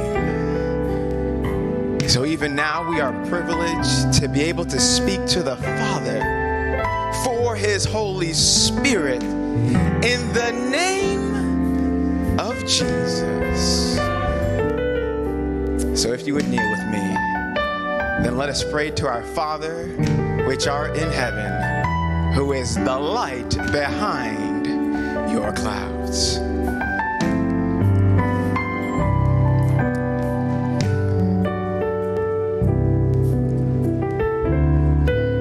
Oh, Father, our Father in heaven, we're thankful that you know our name. We'll allow the world to call us whatever, and we will live by names outside of our name that you've given to us, you know our name. While we go out and about making a mess of ourselves, you know our name, and you call us by that name. Father, while many of us, we may not even know ourselves, you know us, very deeply for us. Thank you, God, for knowing our name. Father, this morning we come before your throne asking for Jesus. Because it's him that we need above all things, even now. Father, we are desperately in need for your healing love, your forgiving love, your soothing spirit. And so on this morning, God, we ask for the fresh baptism of your Holy Spirit in our hearts today. Father, many of us have come here this morning with aches and pains, with challenges, with difficulties, whether it be financial, whether it be familial, whether it be marital, whether it be with work. God, you know every detail of our life. You even numbered the hairs on our head. You know the ones that bother us, the ones that may be discoloring, the, the ones that other people may think are not a big deal, but they do affect us, God. You know the things that bother us the most, and you care. God, thank you for caring about us. Father, of those things we ask, Lord, that you may deliver us. And if you see it fit that we remain in that crucible, we ask that you may strengthen us. God, and if our minds be wandering out and about seeking for other answers, Lord, help us remember that your grace is sufficient for us. Lord, thank you for your grace. Give us a heart that, that recognizes the power of your grace and its work in our lives and in our hearts. Father, heal our sin sick souls. We need you. That family, Lord, that is going through so much turmoil, God, we know that you are the wonderful counselor. Lord, I pray that you would bring counsel to them, thoughts that would change their minds, that would heal the, the wounds and the broken hearts, God. Lord, we ask that you may inspire them to hear men or women, or those who have been given the tongue of the learned, to give them a word in due season that would turn things around in their life. Lord, for the students that may be struggling through school, God. I ask that you may increase their intelligence. You want us to be the head and not the tail. God, this is not for our sake, but we ask this for your sake, that your glory may be revealed through our intelligence and through how you use us, whether we're in the workplace or whether we're in school, God. Lord, we would reveal your glory under all circumstances, but you know our frame. You know that we are but dust. And God, because of that, you must do something on our behalf. The students don't just want to pass in school, they want to excel. Folks don't want to just do well at work, but they want to excel. They want to grow. They want to get to new heights in order to continue to, to, to, to, to share more of you wherever it is that, that, that they might find themselves. People need you, God we would be used by you in all departments, in all the areas of this world, because things we see are quickly wrapping up. Statements are making bad decisions. Some are making apparently good decisions that have a bad end. Lord, we understand and we've read the prophecies, we see them, God, but we would not just have intelligence and understand the prophecies and the this and the that and all the doctrines. Lord, we want to be Christians in our hearts. Lord, help us to truly be Christians in our hearts today we want to stop asking for toys, cars, and candy. God, we need a change in our hearts today. We understand the work that you're doing in the most holy place even now, the work of cleansing the temple. God, cleanse our soul temples of ourself so that it may be Christ and Christ alone that is revealed at all times, that when the world looks at us, that, that Jesus may be suggested. Lord, that your glory may be revealed in us. Father, I close here, but I know that there are so, uh, there are so many vicissitudes in all of our lives that, that I can't name from here. But that your people may know that you know every detail of everything that they're going through. That you are on top of things. We're thankful, God, that you're on top of our clouds, and that you would heat them up to pour out showers of blessings over our lives. Give us the faith of Jesus so that we can just wait a little while longer as your spirit continues to linger with us and do his work. Help us to know that your grace is sufficient for us precious and most holy name of Jesus Christ, we pray. Amen.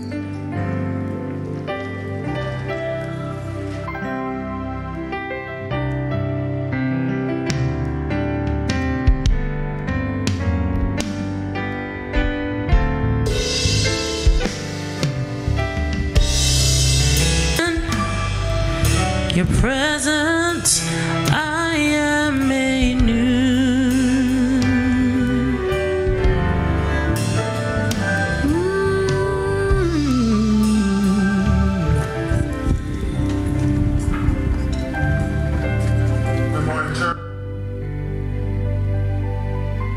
worship God in our singing. Can you say amen? And we have worshiped God in our praying. And the time has come because we know that the, one of the songs told us that God is, is a good God. He keeps blessing us. And this morning, I want to challenge all of us to put God first. I know it can be difficult to put God first. Do I have a weakness? The, the Laodicean church, the Bible says, yet they love God, but they had a problem putting God first. This morning, I want to challenge us to put God first because He has been mighty good to us. And so we want to worship Him with our tithes and our offering. You see, brothers and sisters, God has no hands but ours, no feet but ours. And as we give back what God has given us, we are becoming agent in helping others to know Christ, who is to know is life eternal. Can you say amen? So let us give, not grudgingly, but give with a heart of gratitude for what God has done. Shall we pray? Loving Father and our God, want to thank you for blessing us beyond measure. And as we return what is rightfully you, yours, we ask that we'll use it to bring honor and glory to your name, that many will come to know Christ, who is to know is life eternal. Above all, when you shall come, save us. Save us, we pray, in the precious and the mighty name of Jesus. Amen and amen.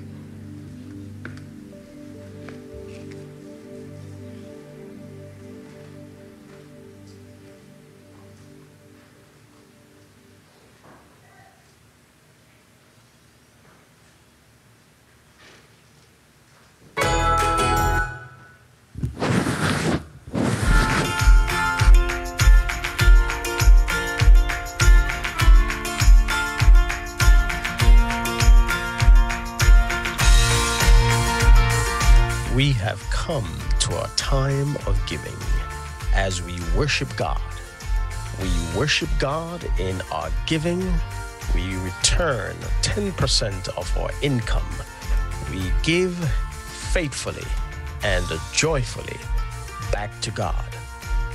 Our offerings pour from our hearts of gratitude and love to our Lord and Savior. We have four ways of giving. You may use the Adventist Giving application. You may use the Zelle application in your bank account. You may write a check to the First SDA Church of White Plains and mail it in to the address on the screen. And finally, you may make arrangements to pick up or drop off your cash. Contact our treasury staff. Your local church benefits from all the offerings you give.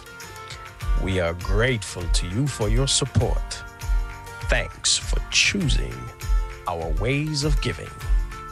May God bless you always.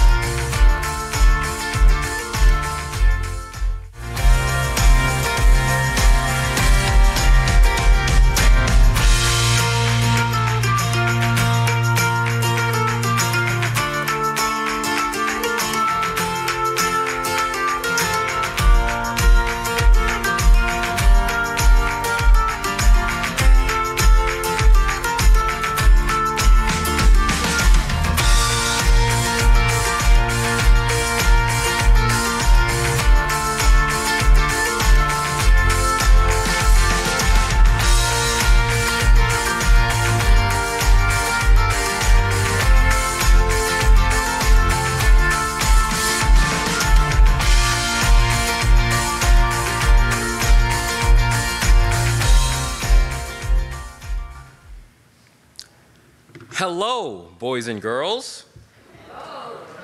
Today, we are going to talk about a story in the Bible about Jesus giving living water. Have you ever heard of living water?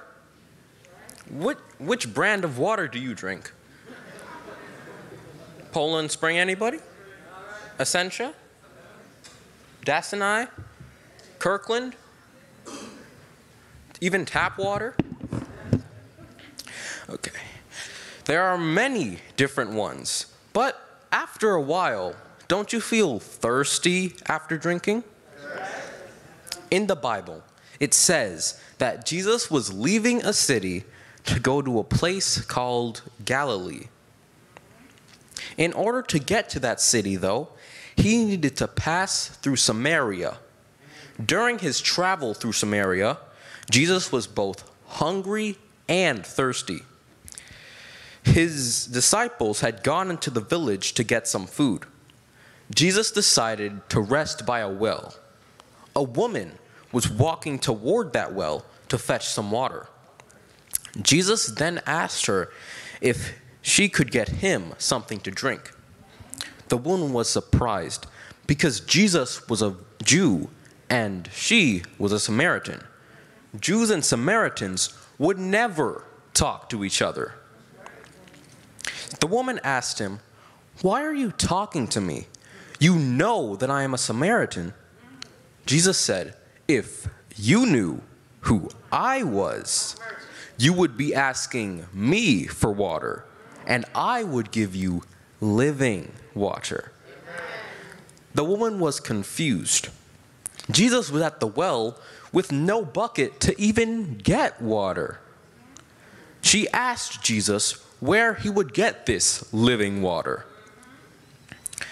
Jesus responded, When you drink this well water, you will become thirsty again. But anyone who drinks of the water I give will never thirst again. The woman asked Jesus to give her this water so she won't have to continue coming to this well. Jesus said, Go get your husband. I don't have a husband, she said. You have spoken the truth, Jesus said, and the person you live with now is still not your husband. The woman was shocked that Jesus knew this. So she asked, You must be a prophet. So tell me, why is it that you Jews insists insist on Jerusalem being the only place to worship God? Jesus told her, There will come a day when it will not matter where you worship God. The woman said, I know the Messiah is coming. When he comes, he will explain everything to us. I am the Messiah, Jesus replied. The woman ran back to the village and told her people, Come see a man who told me everything I ever did. Could this be the Messiah? Many people from the village came to see Jesus, and he was able to speak to them. The people told the woman, We believe not only because of what you said, but we have heard for ourselves and know that this man truly is the Messiah. The water that Jesus was speaking about wasn't a never ending stream that magically refilled, it was the Holy Spirit. The Holy Spirit is given to anyone who comes to Jesus by faith, and we can receive Jesus and worship him no matter where we are. Let's pray and ask God to give us the Holy Spirit today. Dear Jesus, thank you for this day. Thank you for waking all of us up to see another day.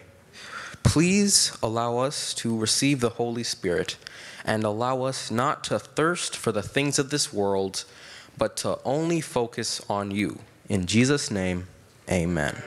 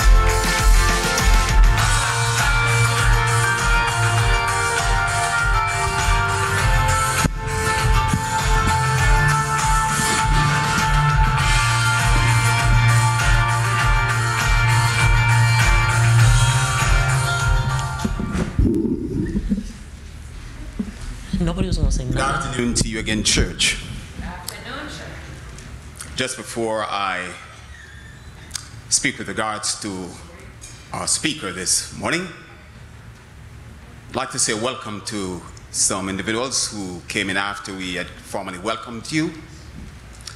And in our midst is our former pastor, well beloved, one who has done many things for a number of us in this church. And it would be remiss of me if I did not do what I'm doing right now. Pastor Jones, we just want to give you the flowers today.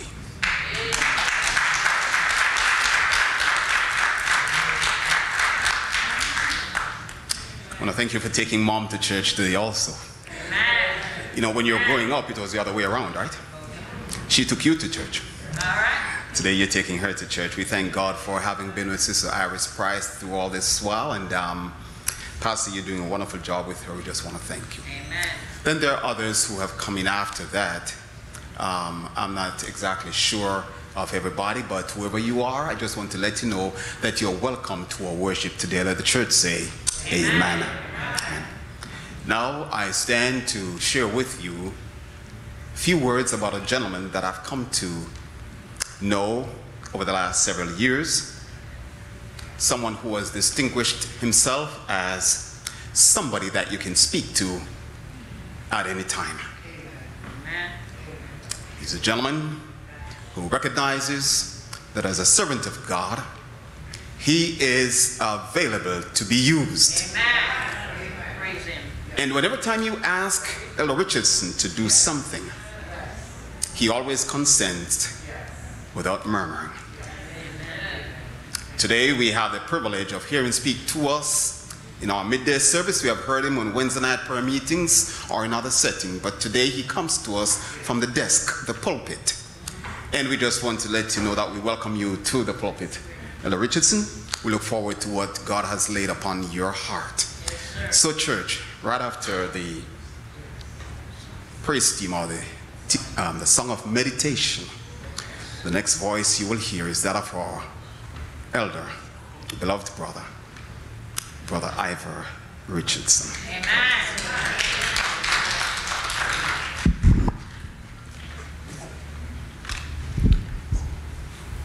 sorry, I forgot. Um, next week, Sunday, this is just for the seniors, okay? Next week, Sunday, there'll be a seniors banquet, and you're invited to be part of it. Speak to Elder, Elder Alvaranga or myself or Sister Gordon as to how you can be part of the seniors banquet next week, Sunday. Thank you.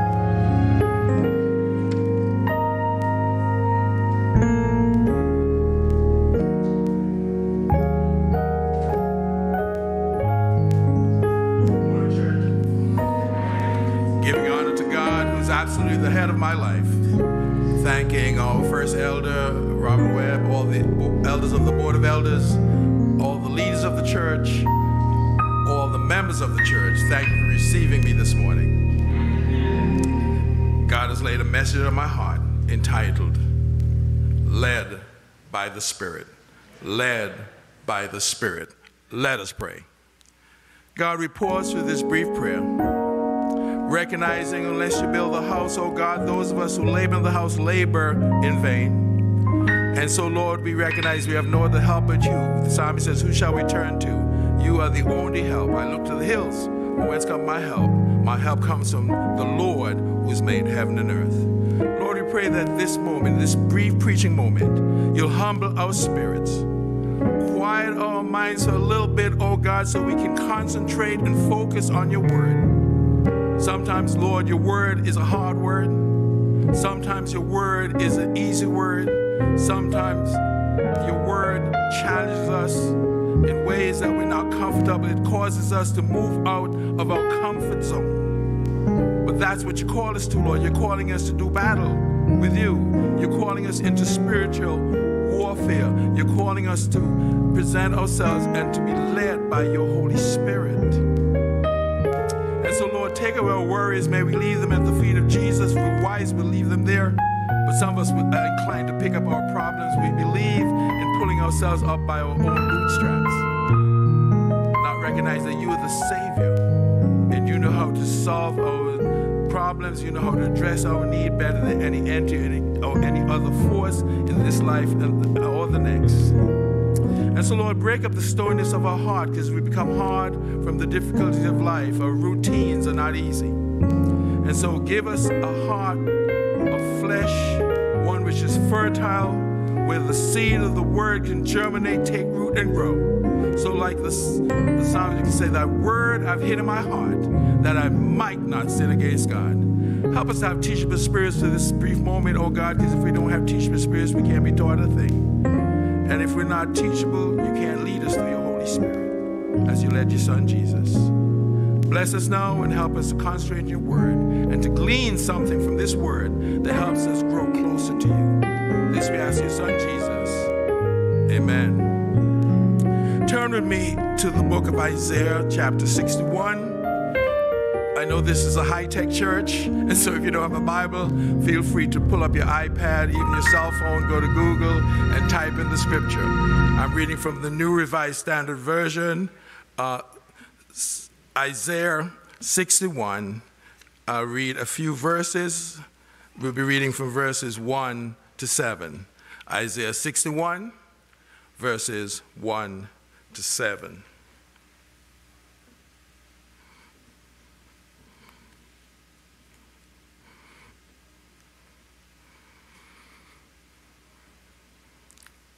Isaiah 61, starting at verse 1. The Spirit of the Lord is upon me because the Lord has anointed me.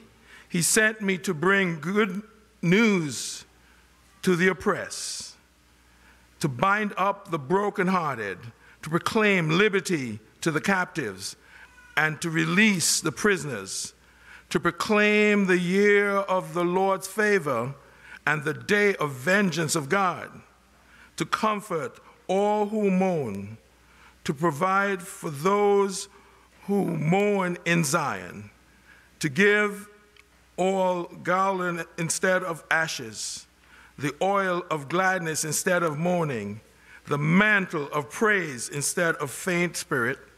They will be called oaks of righteousness, the planting of the Lord to display his glory. They shall bind up the ancient ruins. I'm sorry, they shall build up the ancient ruins. They shall raise up the former de devastations. They shall repair they shall repair the ruined cities, the devastations of many generations. Strangers shall stand and feed your flock. Foreigners shall till your land and dress your vines. But you shall be called priests of the Lord. You shall be named ministers of God. You shall enjoy the wealth of the nations, and in their riches you shall glory, because their shame was doubled, and dishonor was proclaimed to their lot. Therefore, they shall possess a double portion, everlasting joy shall be theirs. May the Lord add a reading to his holy word.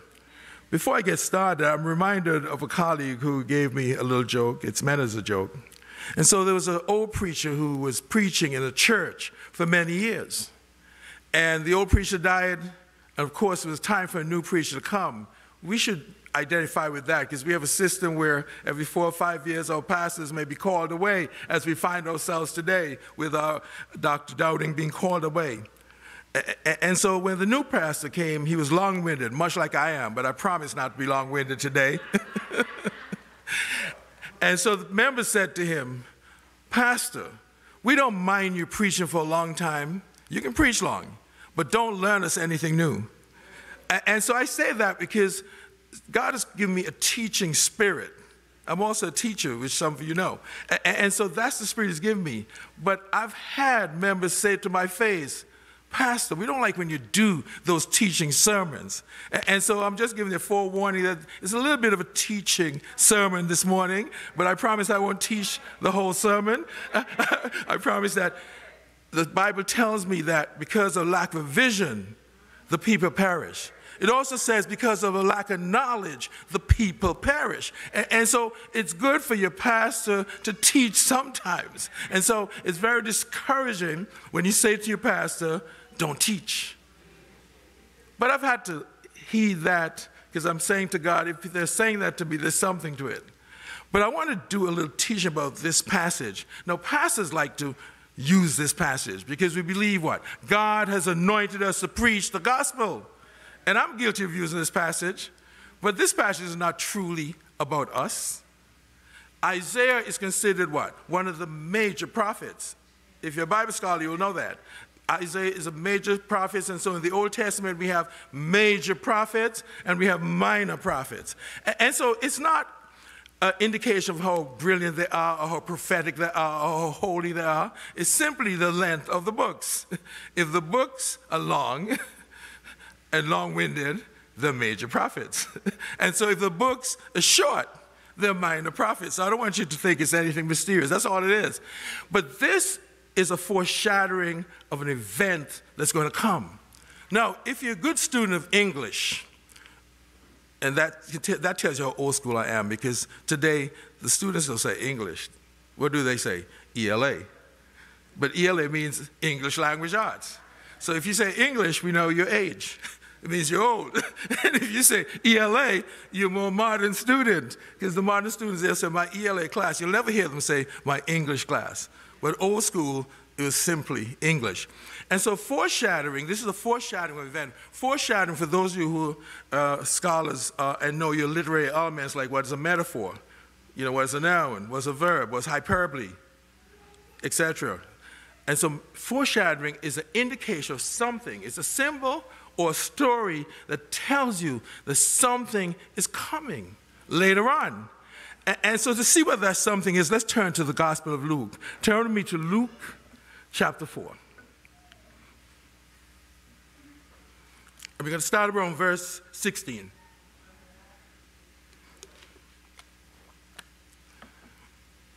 And so in Luke chapter 4, starting around verse 16, it says, When he came to Nazareth, where he had been brought up, he went into the synagogue on the Sabbath day, as was his custom. He stood up and read the scroll of the prophets of Isaiah, which was given to him. He unrolled the scroll and found the place where it was written. Verse 18 tells you, same passage if, you can pay, if you've been paying attention. The Spirit of the Lord is upon me because he's anointed me to bring the good news to the poor. He has sent me to proclaim the release to the captives, the recovery of sight to the blind, to let the oppressed go free, to proclaim the year of the Lord's favor. I'll stop there. And so this is a foreshadowing. In the Old Testament, God used Isaiah to set the foreshadowing of this event that Luke records that Christ himself is proclaiming. And so a scholars debate and fuss about whether or not Isaiah was, the passage Isaiah was referring to Isaiah. Jesus is demonstrating here that it was a foreshadowing not only of Isaiah, but of the Lord Jesus Christ, that he would come later and fulfill the prophecy that Isaiah set in Isaiah 61. And, so that tells us something that God is a true prophet. Because see, the thing about the true prophet and the false prophet is that the false prophet is going to tell you something that might never happen. Never happen. Fable. But God's word and God's prophets are true and they must come to pass. If you study your Bible, you know that what God says you can depend on. God is dependable. God is trustworthy. God is worthy of praise. Yes, He is. And, and, so if you've been walking with God a while, you know that this is true. The songwriter gets it right when he says, What? Oh, Master, let me walk with thee in lowly parts of service free. Tell me thy secrets, help me bear the strain of toil of life or the fret of care. And, and so I love songwriters because they get the gospel in a nutshell. Then they're not long winded. And, and so Jesus proclaiming that I am the Messiah and that what the God has sent me to do has been prophesied long ago by the old prophet Isaiah, and now it's coming to pass where Luke, the physician in the Gospel of Luke, can record the same passage. Now, God calls us what? To service. And He calls us to what? Worship. And so, how do we worship? Well, Paul has a remedy for that, or prescription for that. In Romans 12 1, uh, Paul tells the Roman church, I beseech you, therefore, brethren, by the mercies of God, that you what? Present your bodies a living sacrifice, holy, acceptable to God, which is no big thing, guys. It's just your reasonable service. Don't get big headed or swell headed or think I'm some kind of super Christian. Paul says that's just your reasonable, basic service. And so he's telling you how to serve God. Because if you don't understand that you have to worship God or you have to serve God, then you are just pretending to be a Christian. And if the COVID pandemic had taught us anything as a church, is that we can't waste time. We can't fool around with this gospel. Some of us have been what, sitting on this gospel far too long. And the pandemic came and took our loved ones and we're crushed. But God is sending us a message. What does the scripture say? Now is the what? Appointed time to accept the Lord. Now is the appointed time to accept Jesus. And so our lives must reflect that God is holy, God is wise, God is merciful, God is all powerful, and that if God is in us, then what? Who can be against us? Scripture tells what? No weapon formed against God's children shall what? Prosper. And so, why do we live defeated lives as Christians? We live sometimes as we're so defeated, we don't understand that God has put a hedge of protection around us, as Elder Alvaranga was explaining when he was uh, up giving the call to worship. You're protected and you're empowered. And so don't listen when the devil comes and says, be afraid. Because the scripture tells us what? God hasn't given us a spirit of fear, but what? Of power and of love and of a what? Sound mind. And I hear you repeating it. So the good uh, scholars in the audience know their scripture and they've experienced it. They've experienced God, what? Walking with them and talking with them, empowering them, energizing them. And so that's why we keep coming. Because we serve a, girl, a, a holy God who what? Can deliver can deliver us from trouble? when we're between a rock and a hard place, but can also deliver blessing, can also deliver might, can also pour out his spirit on the earth so that not only the Christians will prophesy, but that men and women who are outside of God's grace because they haven't accepted Christ as Savior can see the power and acknowledge their sin and recognize what? The need for Savior. And I was so glad that Isaac, Isaac, it's good to see you, uh, used that scripture. It was a confirmation because I didn't even bother to read it because it was in my sermon today. But that's how God works. When He did that, it verified for me that God is involved in our word today, God is involved in our message today. God is holy, God is righteous, and God is seeking to bless us and use us. And so we have to be sensitive to His call. When God asked the woman at the well for the drink of water, she didn't recognize who God was. She didn't recognize him at all. In fact, she tried to tell Jesus, What's wrong with you? Don't you see I'm a Samaritan woman? And I recognize that you are what? A Nazarite or a Nazarene. Because that's where Christ grew up, was a Nazarene or Nazarite. He said, Don't you? She said to him, This is Jesus she's talking to now. She, and, you know, and some, some of us are like that too, because sometimes some of us talk to God like we don't know who God is. We're disrespectful, we're questioning God, we're acting as though we're more stronger than God. Instead of dropping on our knees and pray, we're asking God, Why did you do this to me? But she said to him, Don't you know you're not supposed to have anything to do with me? That your people consider my people what? Unclean? Shame on you. That's what she told Jesus. And Jesus said to her, If you knew who was asking you for a drink of water, you would have gladly given it to me.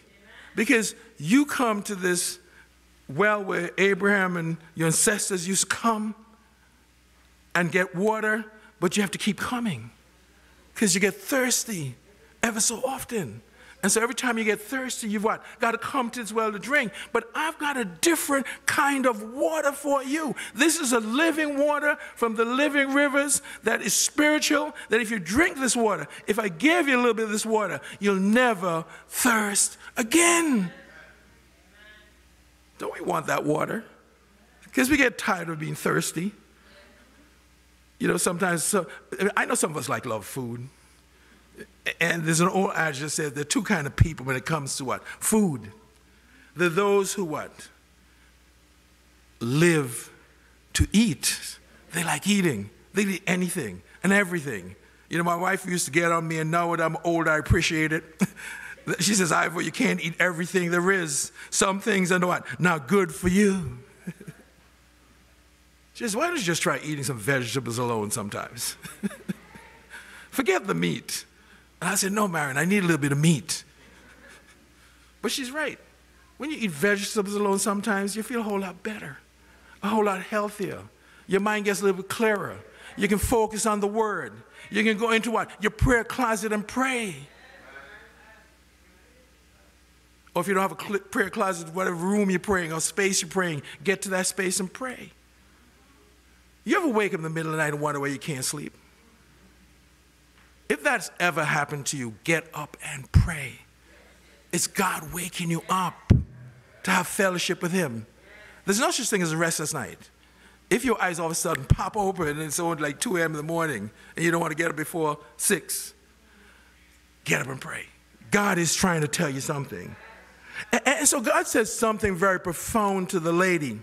And, and I want to say to you today, receive it in the way it's meant. Because you know that Jesus, was what? 100% human.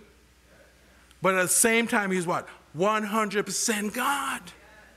Because he what? Was always led by the Spirit of God. See, Jesus submitted, submitted himself to be submissive under the guidance of the Holy Spirit, God the Holy Spirit, and God his Father, to obedience. And, and so that's why he was able to pick up the scrolls and read, The Spirit of the Lord is upon me let me just back up a little bit. Do you know how old Jesus was when he read that scroll? Scholars agree that he was what we call a preteen. If you're not sure what a preteen is, it's when you get to double numbers 10, 11, 12. Those are the preteen years Why? Because when you get to 13, you become a teenager. and so that's a little bit different. so, so he was about 12 years old. And, and so Jesus was trying to relay something. And, so when he read this portion of scripture, it says that he said something that the people didn't agree with. He said, Today, in your hearing, I am the fulfillment of this prophecy. And they looked around and said, Isn't this Mary and Joseph's son? What is he talking about? Because they didn't discern that he was a master, he was a prophet. The Spirit of God had moved him to get up and say, Start your ministry, because that's why, you know, I had you from virgin birth be born and be ready to what? Proclaim this gospel. And so they were so angry, they were looking for him to what? Stone him and kill him. And the scripture says that God cloaked him. Now, if you know what a cloak, God covered him in a way that he couldn't see him. And so he walked right out. And his parents who came back to look for him and said, Why were you missing? And he said to them, Don't you know I have to be about what? About my father's business. But I want to say something about youth and the way we treat youth. And, and so this was a shameful way that the, the, priests and the prophets and the apostles that were all gathered in the synagogue and the members just treated him with disrespect. Sometimes we talk to teenagers and young people disrespectfully because we think they're young. But think of what the scripture says about children. God says what? A little child shall lead them. And then when his disciples, the 12, tried to stop them from coming to Jesus, says, Suffer the little ones not to come unto me, for of such is what? The kingdom of heaven. But see, because Jesus was 100% human, he was discouraged by the reaction of those in the synagogue. So much discouraged that Jesus would go back home and sit down from age 12 till age 30 before he got up again. But he was doing something important. I remember when I started ministry, I thought about going to New York Theological Semin- Seminary, and, and uh, Eleanor Moody Shepherd, uh, Dr. Moody Shepherd, who is a great Presbyterian pastor, is also the dean of that seminary.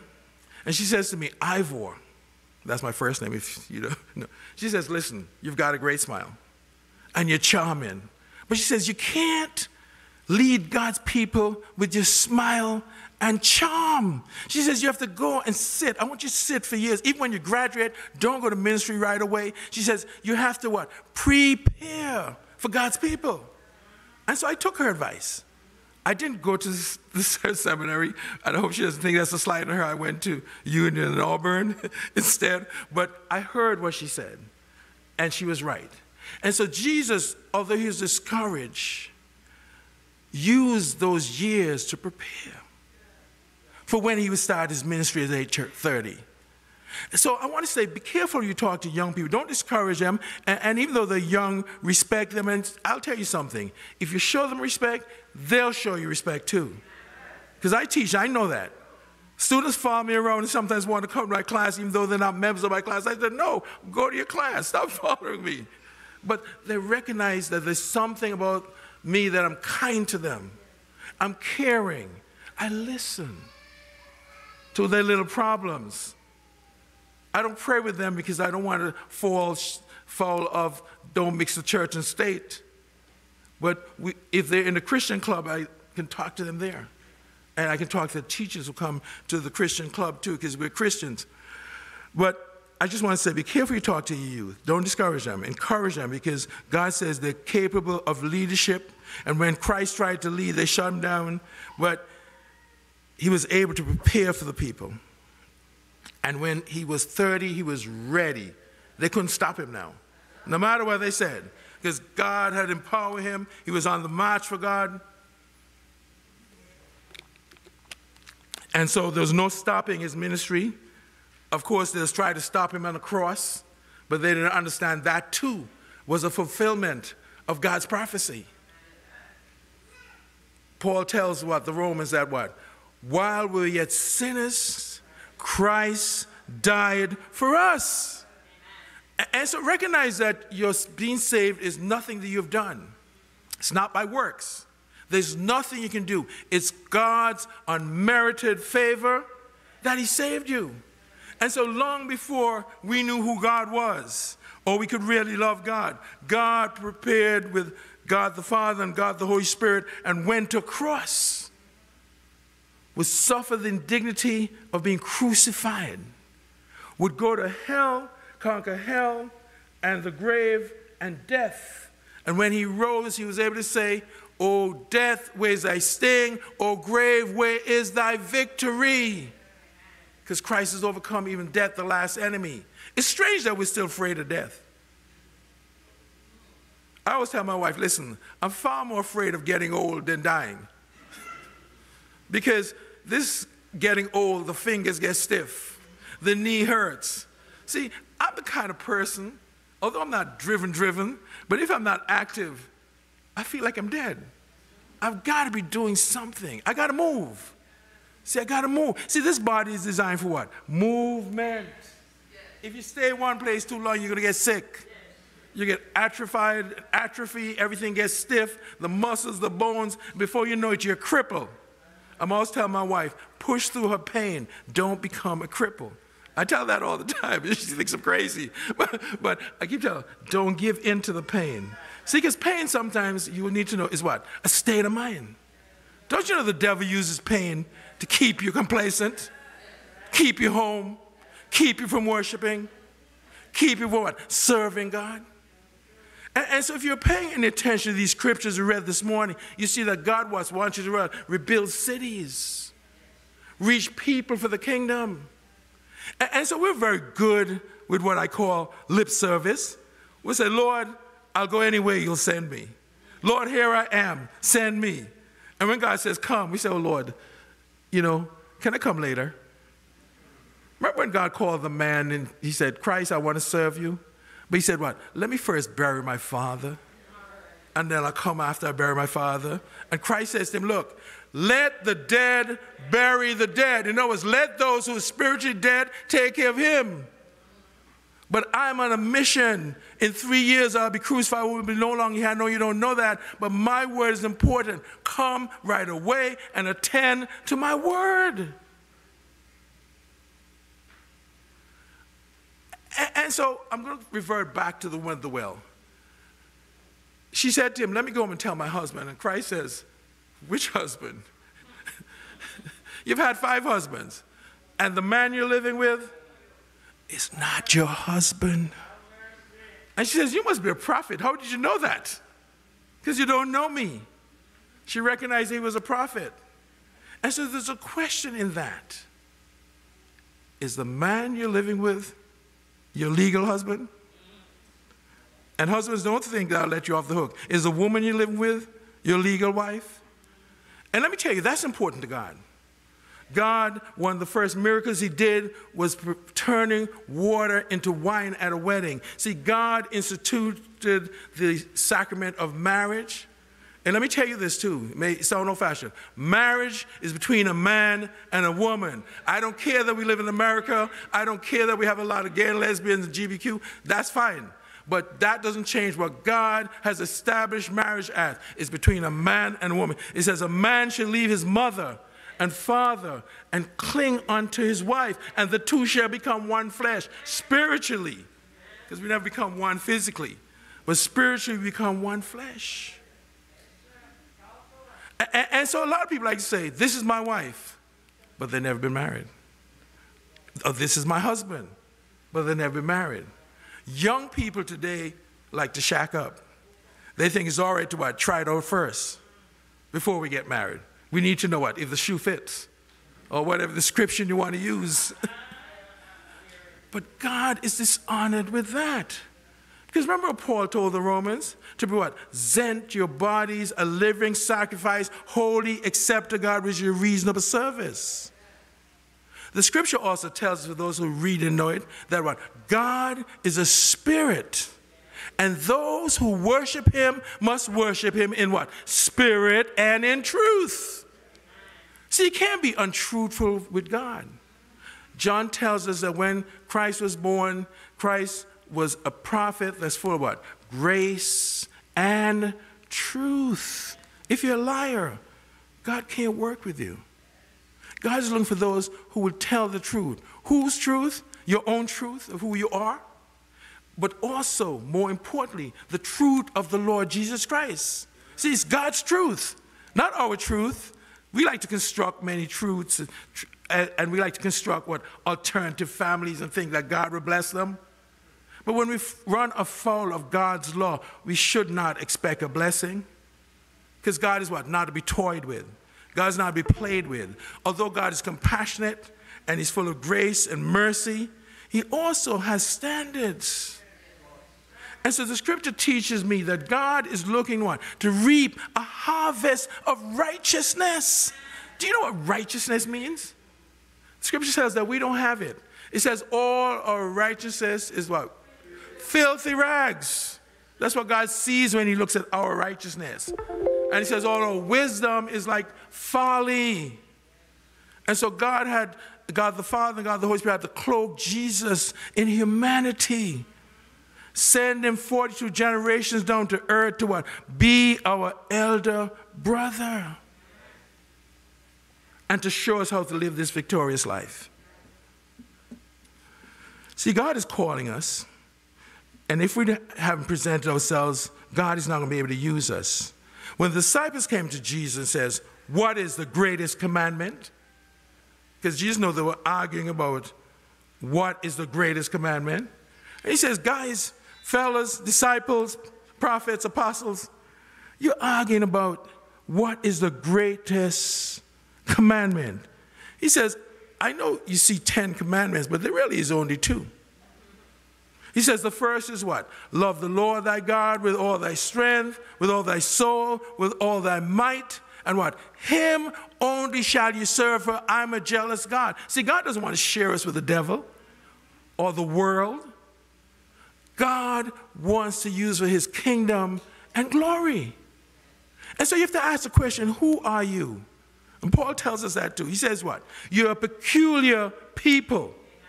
That means you're strange to the world. And you're strange to the world because God says that you're in the world, but you're not of the world. This place is not your home. And I think of my one of my granddaughters when I say that. So my granddaughter, Ailey, like my wife, is very sensitive. That means cries easy.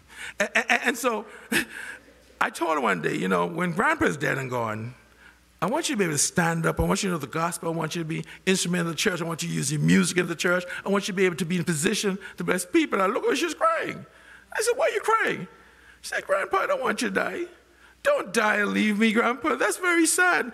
And I realized that she's so upset I had to stop the conversation. But I said to her, Listen, I know it's hard for you to understand. And she was really young then. She's now 14, but she still doesn't deal with it well. I said, But once you're born, is appointed once a man or woman to what? Be born. By God's grace to live what? Some three scores. A score is 20. Three times 20 is what? 60. Plus 10. That's 70. So God has only guaranteed you 70 years if you don't die from an accident or mishap. But God says also, if you live a clean Christian life and you serve me and you don't drink booze and you don't smoke, and you don't take all those things that corrupt your body, by reason of strength, you can live to maybe another 10, 80, 90, or 100. We don't live much beyond 110, guys. Let's face it, these days. We see in the Bible some prophets lived to 900 years. No such luck. if you're about 110, it's about time to go. And so it behoves you that the scripture says what? Now is the appointed time. Get right with God. Don't wait till it's too late.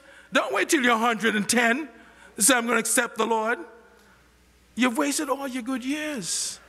One thing I learned from the age five in vacation Bible school give of your best to the master, give him the strength of the youth, join in salvation's strong army, join in the battle for truth. Those little lessons are important. At five years old, we don't realize fully what we're saying. But as we get bigger, we realize that the, the VBS teachers and the Sunday school teachers had our best interests at heart. Yes. And, and so Paul is calling us to do something he told the Ephesians to do. Turn me to Ephesians chapter 6. Promises to be my last scripture. Ephesians chapter 6. Stand about verse 10. See, God calls us to spiritual battle. And if you're going to do spiritual battle, you have to be what? Ready. You've got to be prepared. And, and so in this passage of Ephesians 6, starting about verse 10, Paul tells the Ephesians that because God called you to do spiritual battle, you have to put on what? The whole armor of God. And so verse 10 tells us, finally, brethren, be strong in the Lord and in the strength of his power.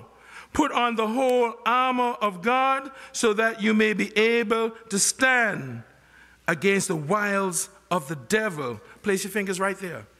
And so Paul tells them why they need to put on this armor. Because you're going to do spiritual battle. See, God is willing to lead you into battle, but you have to do what? Your part to prepare. So, how do you prepare for God? You prepare first by what? Developing a prayer life. I mean, too many Christians tell me, Pastor, I can't pray. What? Are you crazy? You're a Christian who can't pray, you're in trouble. You're wide open to the devil. You better learn to talk to God. Prayer, listen, prayer, I'm going to share something that I didn't really want to share, but I'm going to share something with you. Prayer is simply talking to God. So listen, when I was a teenager, I grew up in the mean streets of Brooklyn. That's where my mom emigrated to. And I lived some 24 years in Brooklyn. And so when I'm young, you know, like all young people of the age, we like to what, go to a party because we don't know parties are dangerous. My mom always told us, I don't want you to go to parties. And we would say, the old lady, that's what we used to call my mom when we want to hear what she's saying. We say, the old lady doesn't know what she's talking about. Sometimes she's talking, blah, blah. And we say, is that old lady still talking? because we're hard headed. We don't get it. But my mom would be up and she always says to me, I know when you come home. I don't think you guys know. I know when you sneak into 3 o'clock, 2.30, 4 o'clock. I heard every one of you. Because not only you're walking hard and making noise, you're talking. But she says, I'm not sleeping. I'm on my knees praying for you. By was praying. I've heard her pray because one time I was passing by, she didn't know I was passing by in the house on her floor. And she said, That boy, Ivor, laughs too much, giggles too much, too happy. Bless him, Lord, and teach him, give him wisdom so he'll know what to do. Well, don't you know one night I was coming from a party and I was coming by myself because my brother didn't want to go, William, and my cousin didn't want to go because we go together. So I went alone. And it was about 3 o'clock in the morning. And so I'm coming down Utica Avenue. I had to ride the train. I can't remember exactly where this party was, but I know I had to get on the train, and I got off at Utica Avenue. And at that time of morning, I didn't have any more money for any more cabs, so I decided to walk about 15 blocks down Utica to Winthrop, where I lived. And so when I got a block from Winthrop on Utica, I saw like 12, 10 or 12 young men. They're walking in twos. And they walk like they're in the military, side by side, and they're walking. And, and so I realized they were up to something.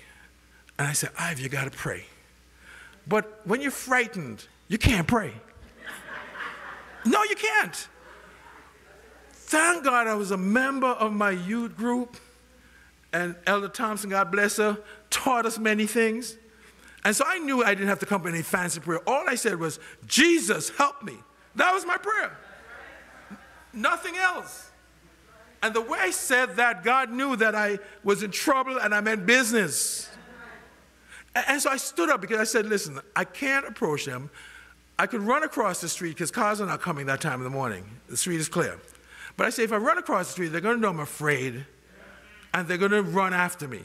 So the Spirit says, no, stand your ground. It didn't speak in verbal, but it, God dropped into my head. Because I want you to know that God drops into your head things you need to know.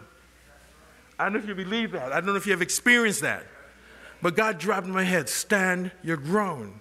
I'm telling you, I saw like a light go on, and I thought of God's word. Is what? A light unto your path and a lamp unto your feet. And then God showed me there was a space right between them. Now, I don't know if there was a space thinking about it, no, but the light shone, and all I heard the voice says, Walk in the light. So listen to this. You know, people say that things in the Bible are symbolic. I'm here to tell you that some of those things are real. God has allowed me to do some things and see some things. I can't share them. Because people think I'm crazy when I share them.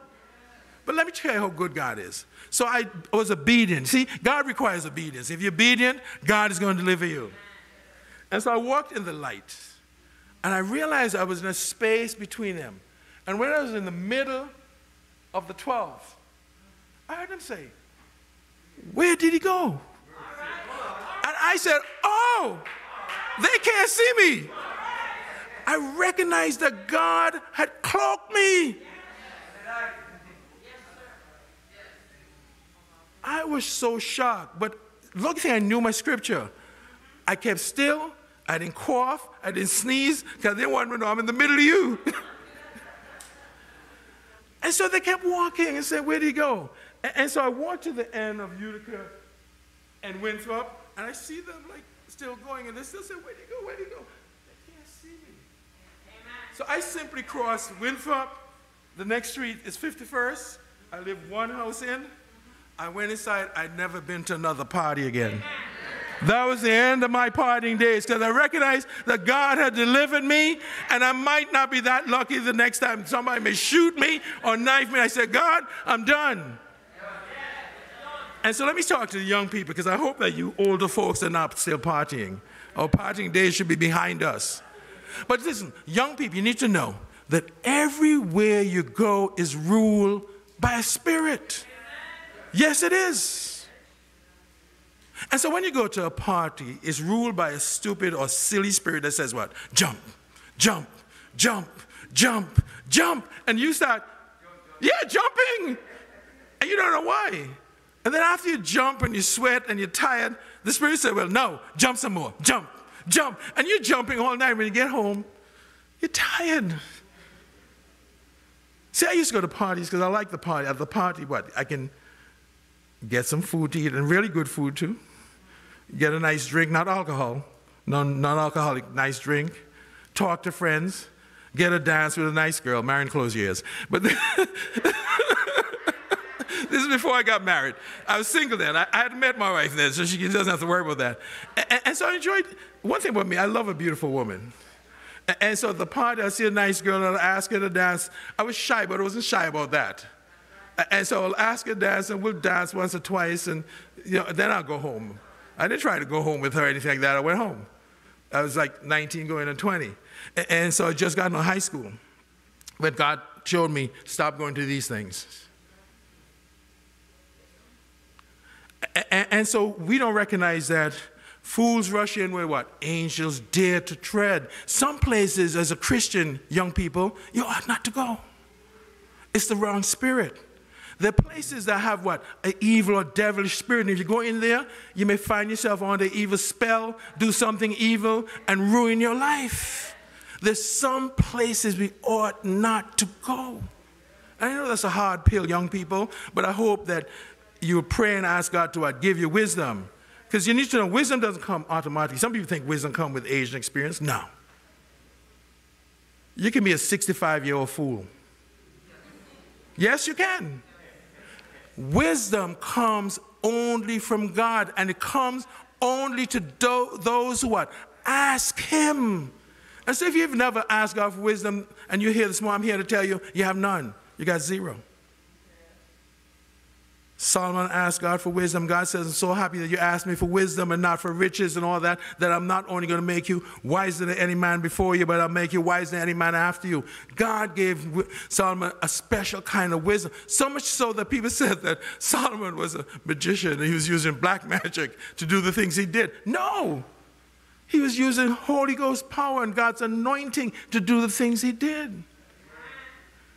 If you read Chronicles chapter 7, it says that when if my people, right, who what, call by my name, shall humble themselves, turn from their wicked ways, seek my face, and pray, then I will hear from heaven and what? Heal their land. And so you want to know why the land doesn't have a healing? We're not praying enough, church.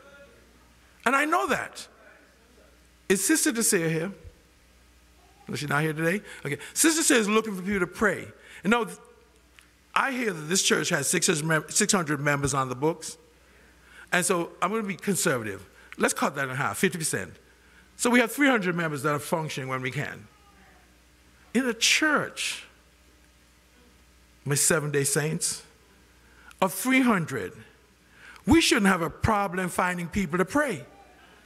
Something is wrong when we can't find people among 300 people to pray. Do you know your elders are overworked? Do you know your department heads are overworked? They're running two and three ministries because they can't what? Find others to what? Share the ministry with? And you tell me you're here to serve God? God doesn't want lip service. He wants those who are honest, those who would go, those he can depend upon, those he can trust, those who what? Put on the full armor and ready to do battle. And if you look at the armor, the first piece of the armor, God says what? Put the belt of truth around your waist. Read it when you go home. I'm not going to read it. I realize my time is gone. But he said, put on the belt of truth around your waist. See, if you're not going to be truthful, you're not ready for God. That's why you need to speak the truth even when it's to your own detriment. Don't worry about that. God will bear you through. God calls us to speak the truth in and out. God calls us to be ready. God calls us to be able to pray. God calls us to be able to share the scripture with someone. God calls us to be able to comfort someone. God calls us to be lights of change in a world that's dark and dim and growing weary and silly and desperate and wicked. And so, if the church, which is God's people, I have no doubt that you're God's people. That's why I'm with you. Wouldn't be here if you weren't God's people won't do what God calls us to do, who are we waiting on?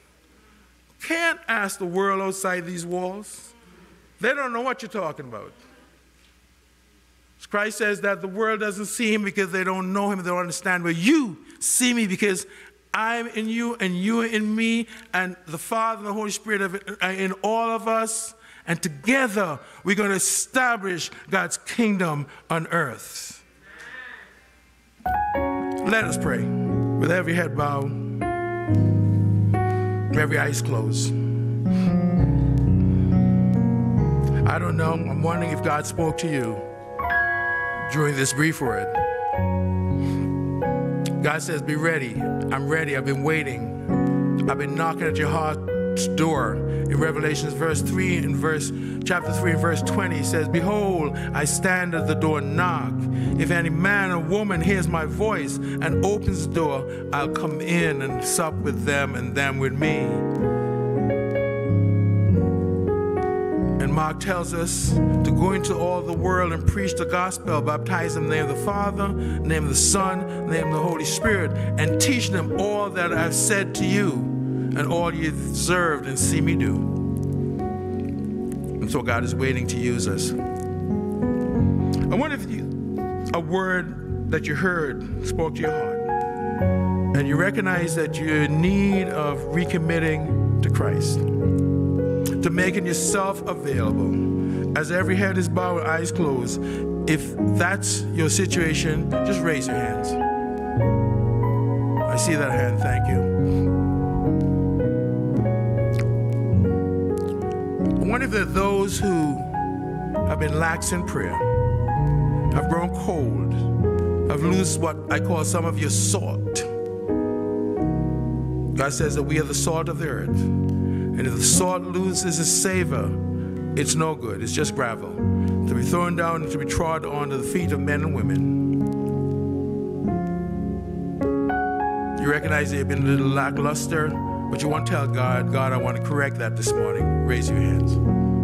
Thank you. I see those hands.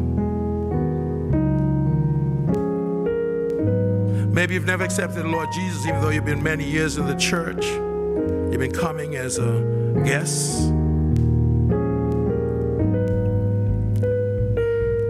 But you recognize this morning that you want to make a profession of faith and offer yourself to God. Raise your hand. Raise their hands. And for those who raise their hands, I want to ask you to, and keep your heads bowed and eyes closed, guys. I don't want you to look at the people as they come up. I want you to make another step of faith. For those who raise your hands, get up out of your seat and make your way to the front. We want to pray with you this morning. I pray that you're bold enough to make your way down.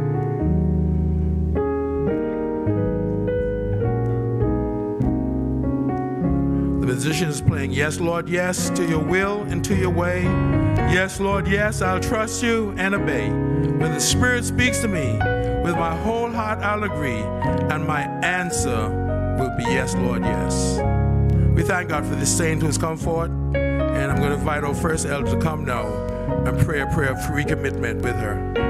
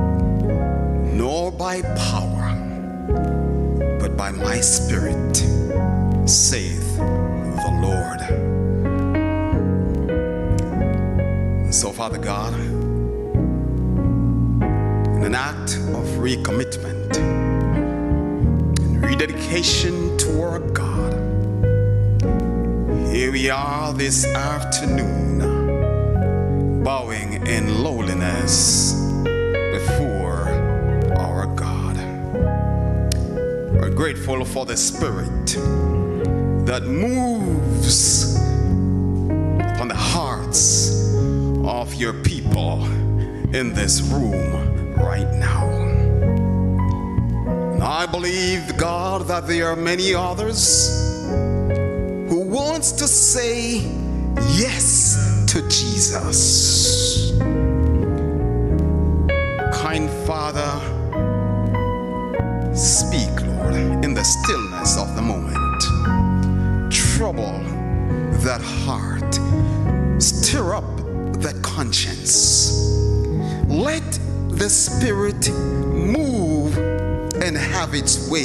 upon your people right now, God.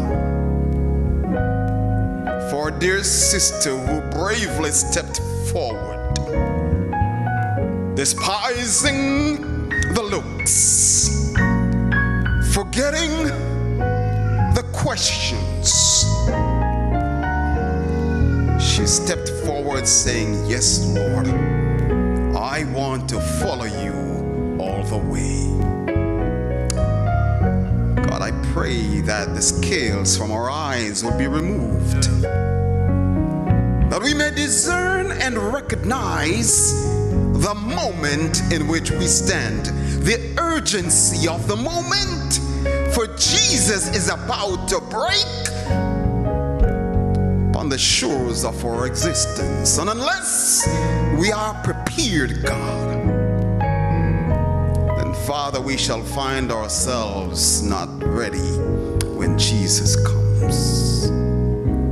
So, Holy Spirit, light divine, shine thou upon these hearts of ours and bid us cast aside our fears, our doubts, and confess our sins so that victory can be ours through Jesus Christ. Let no one depart this room without pleading to be led by the Spirit of God.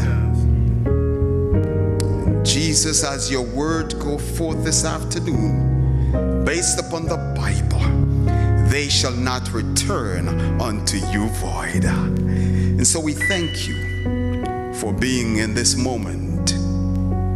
We ask you now that you will seal our decisions that we have made with you and keep us faithful until the day when you shall come. This we humbly pray in the name of Jesus. Let God's people say, Amen. Amen. And amen. Thank you, my sister. You may be seated. Let us bow our heads and receive the benediction.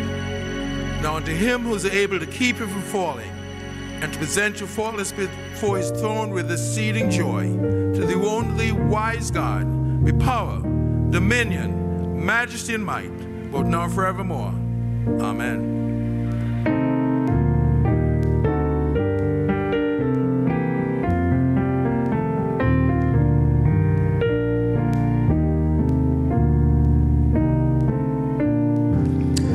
This morning, when I gave um, the final welcome, I failed to recognize a daughter of this congregation.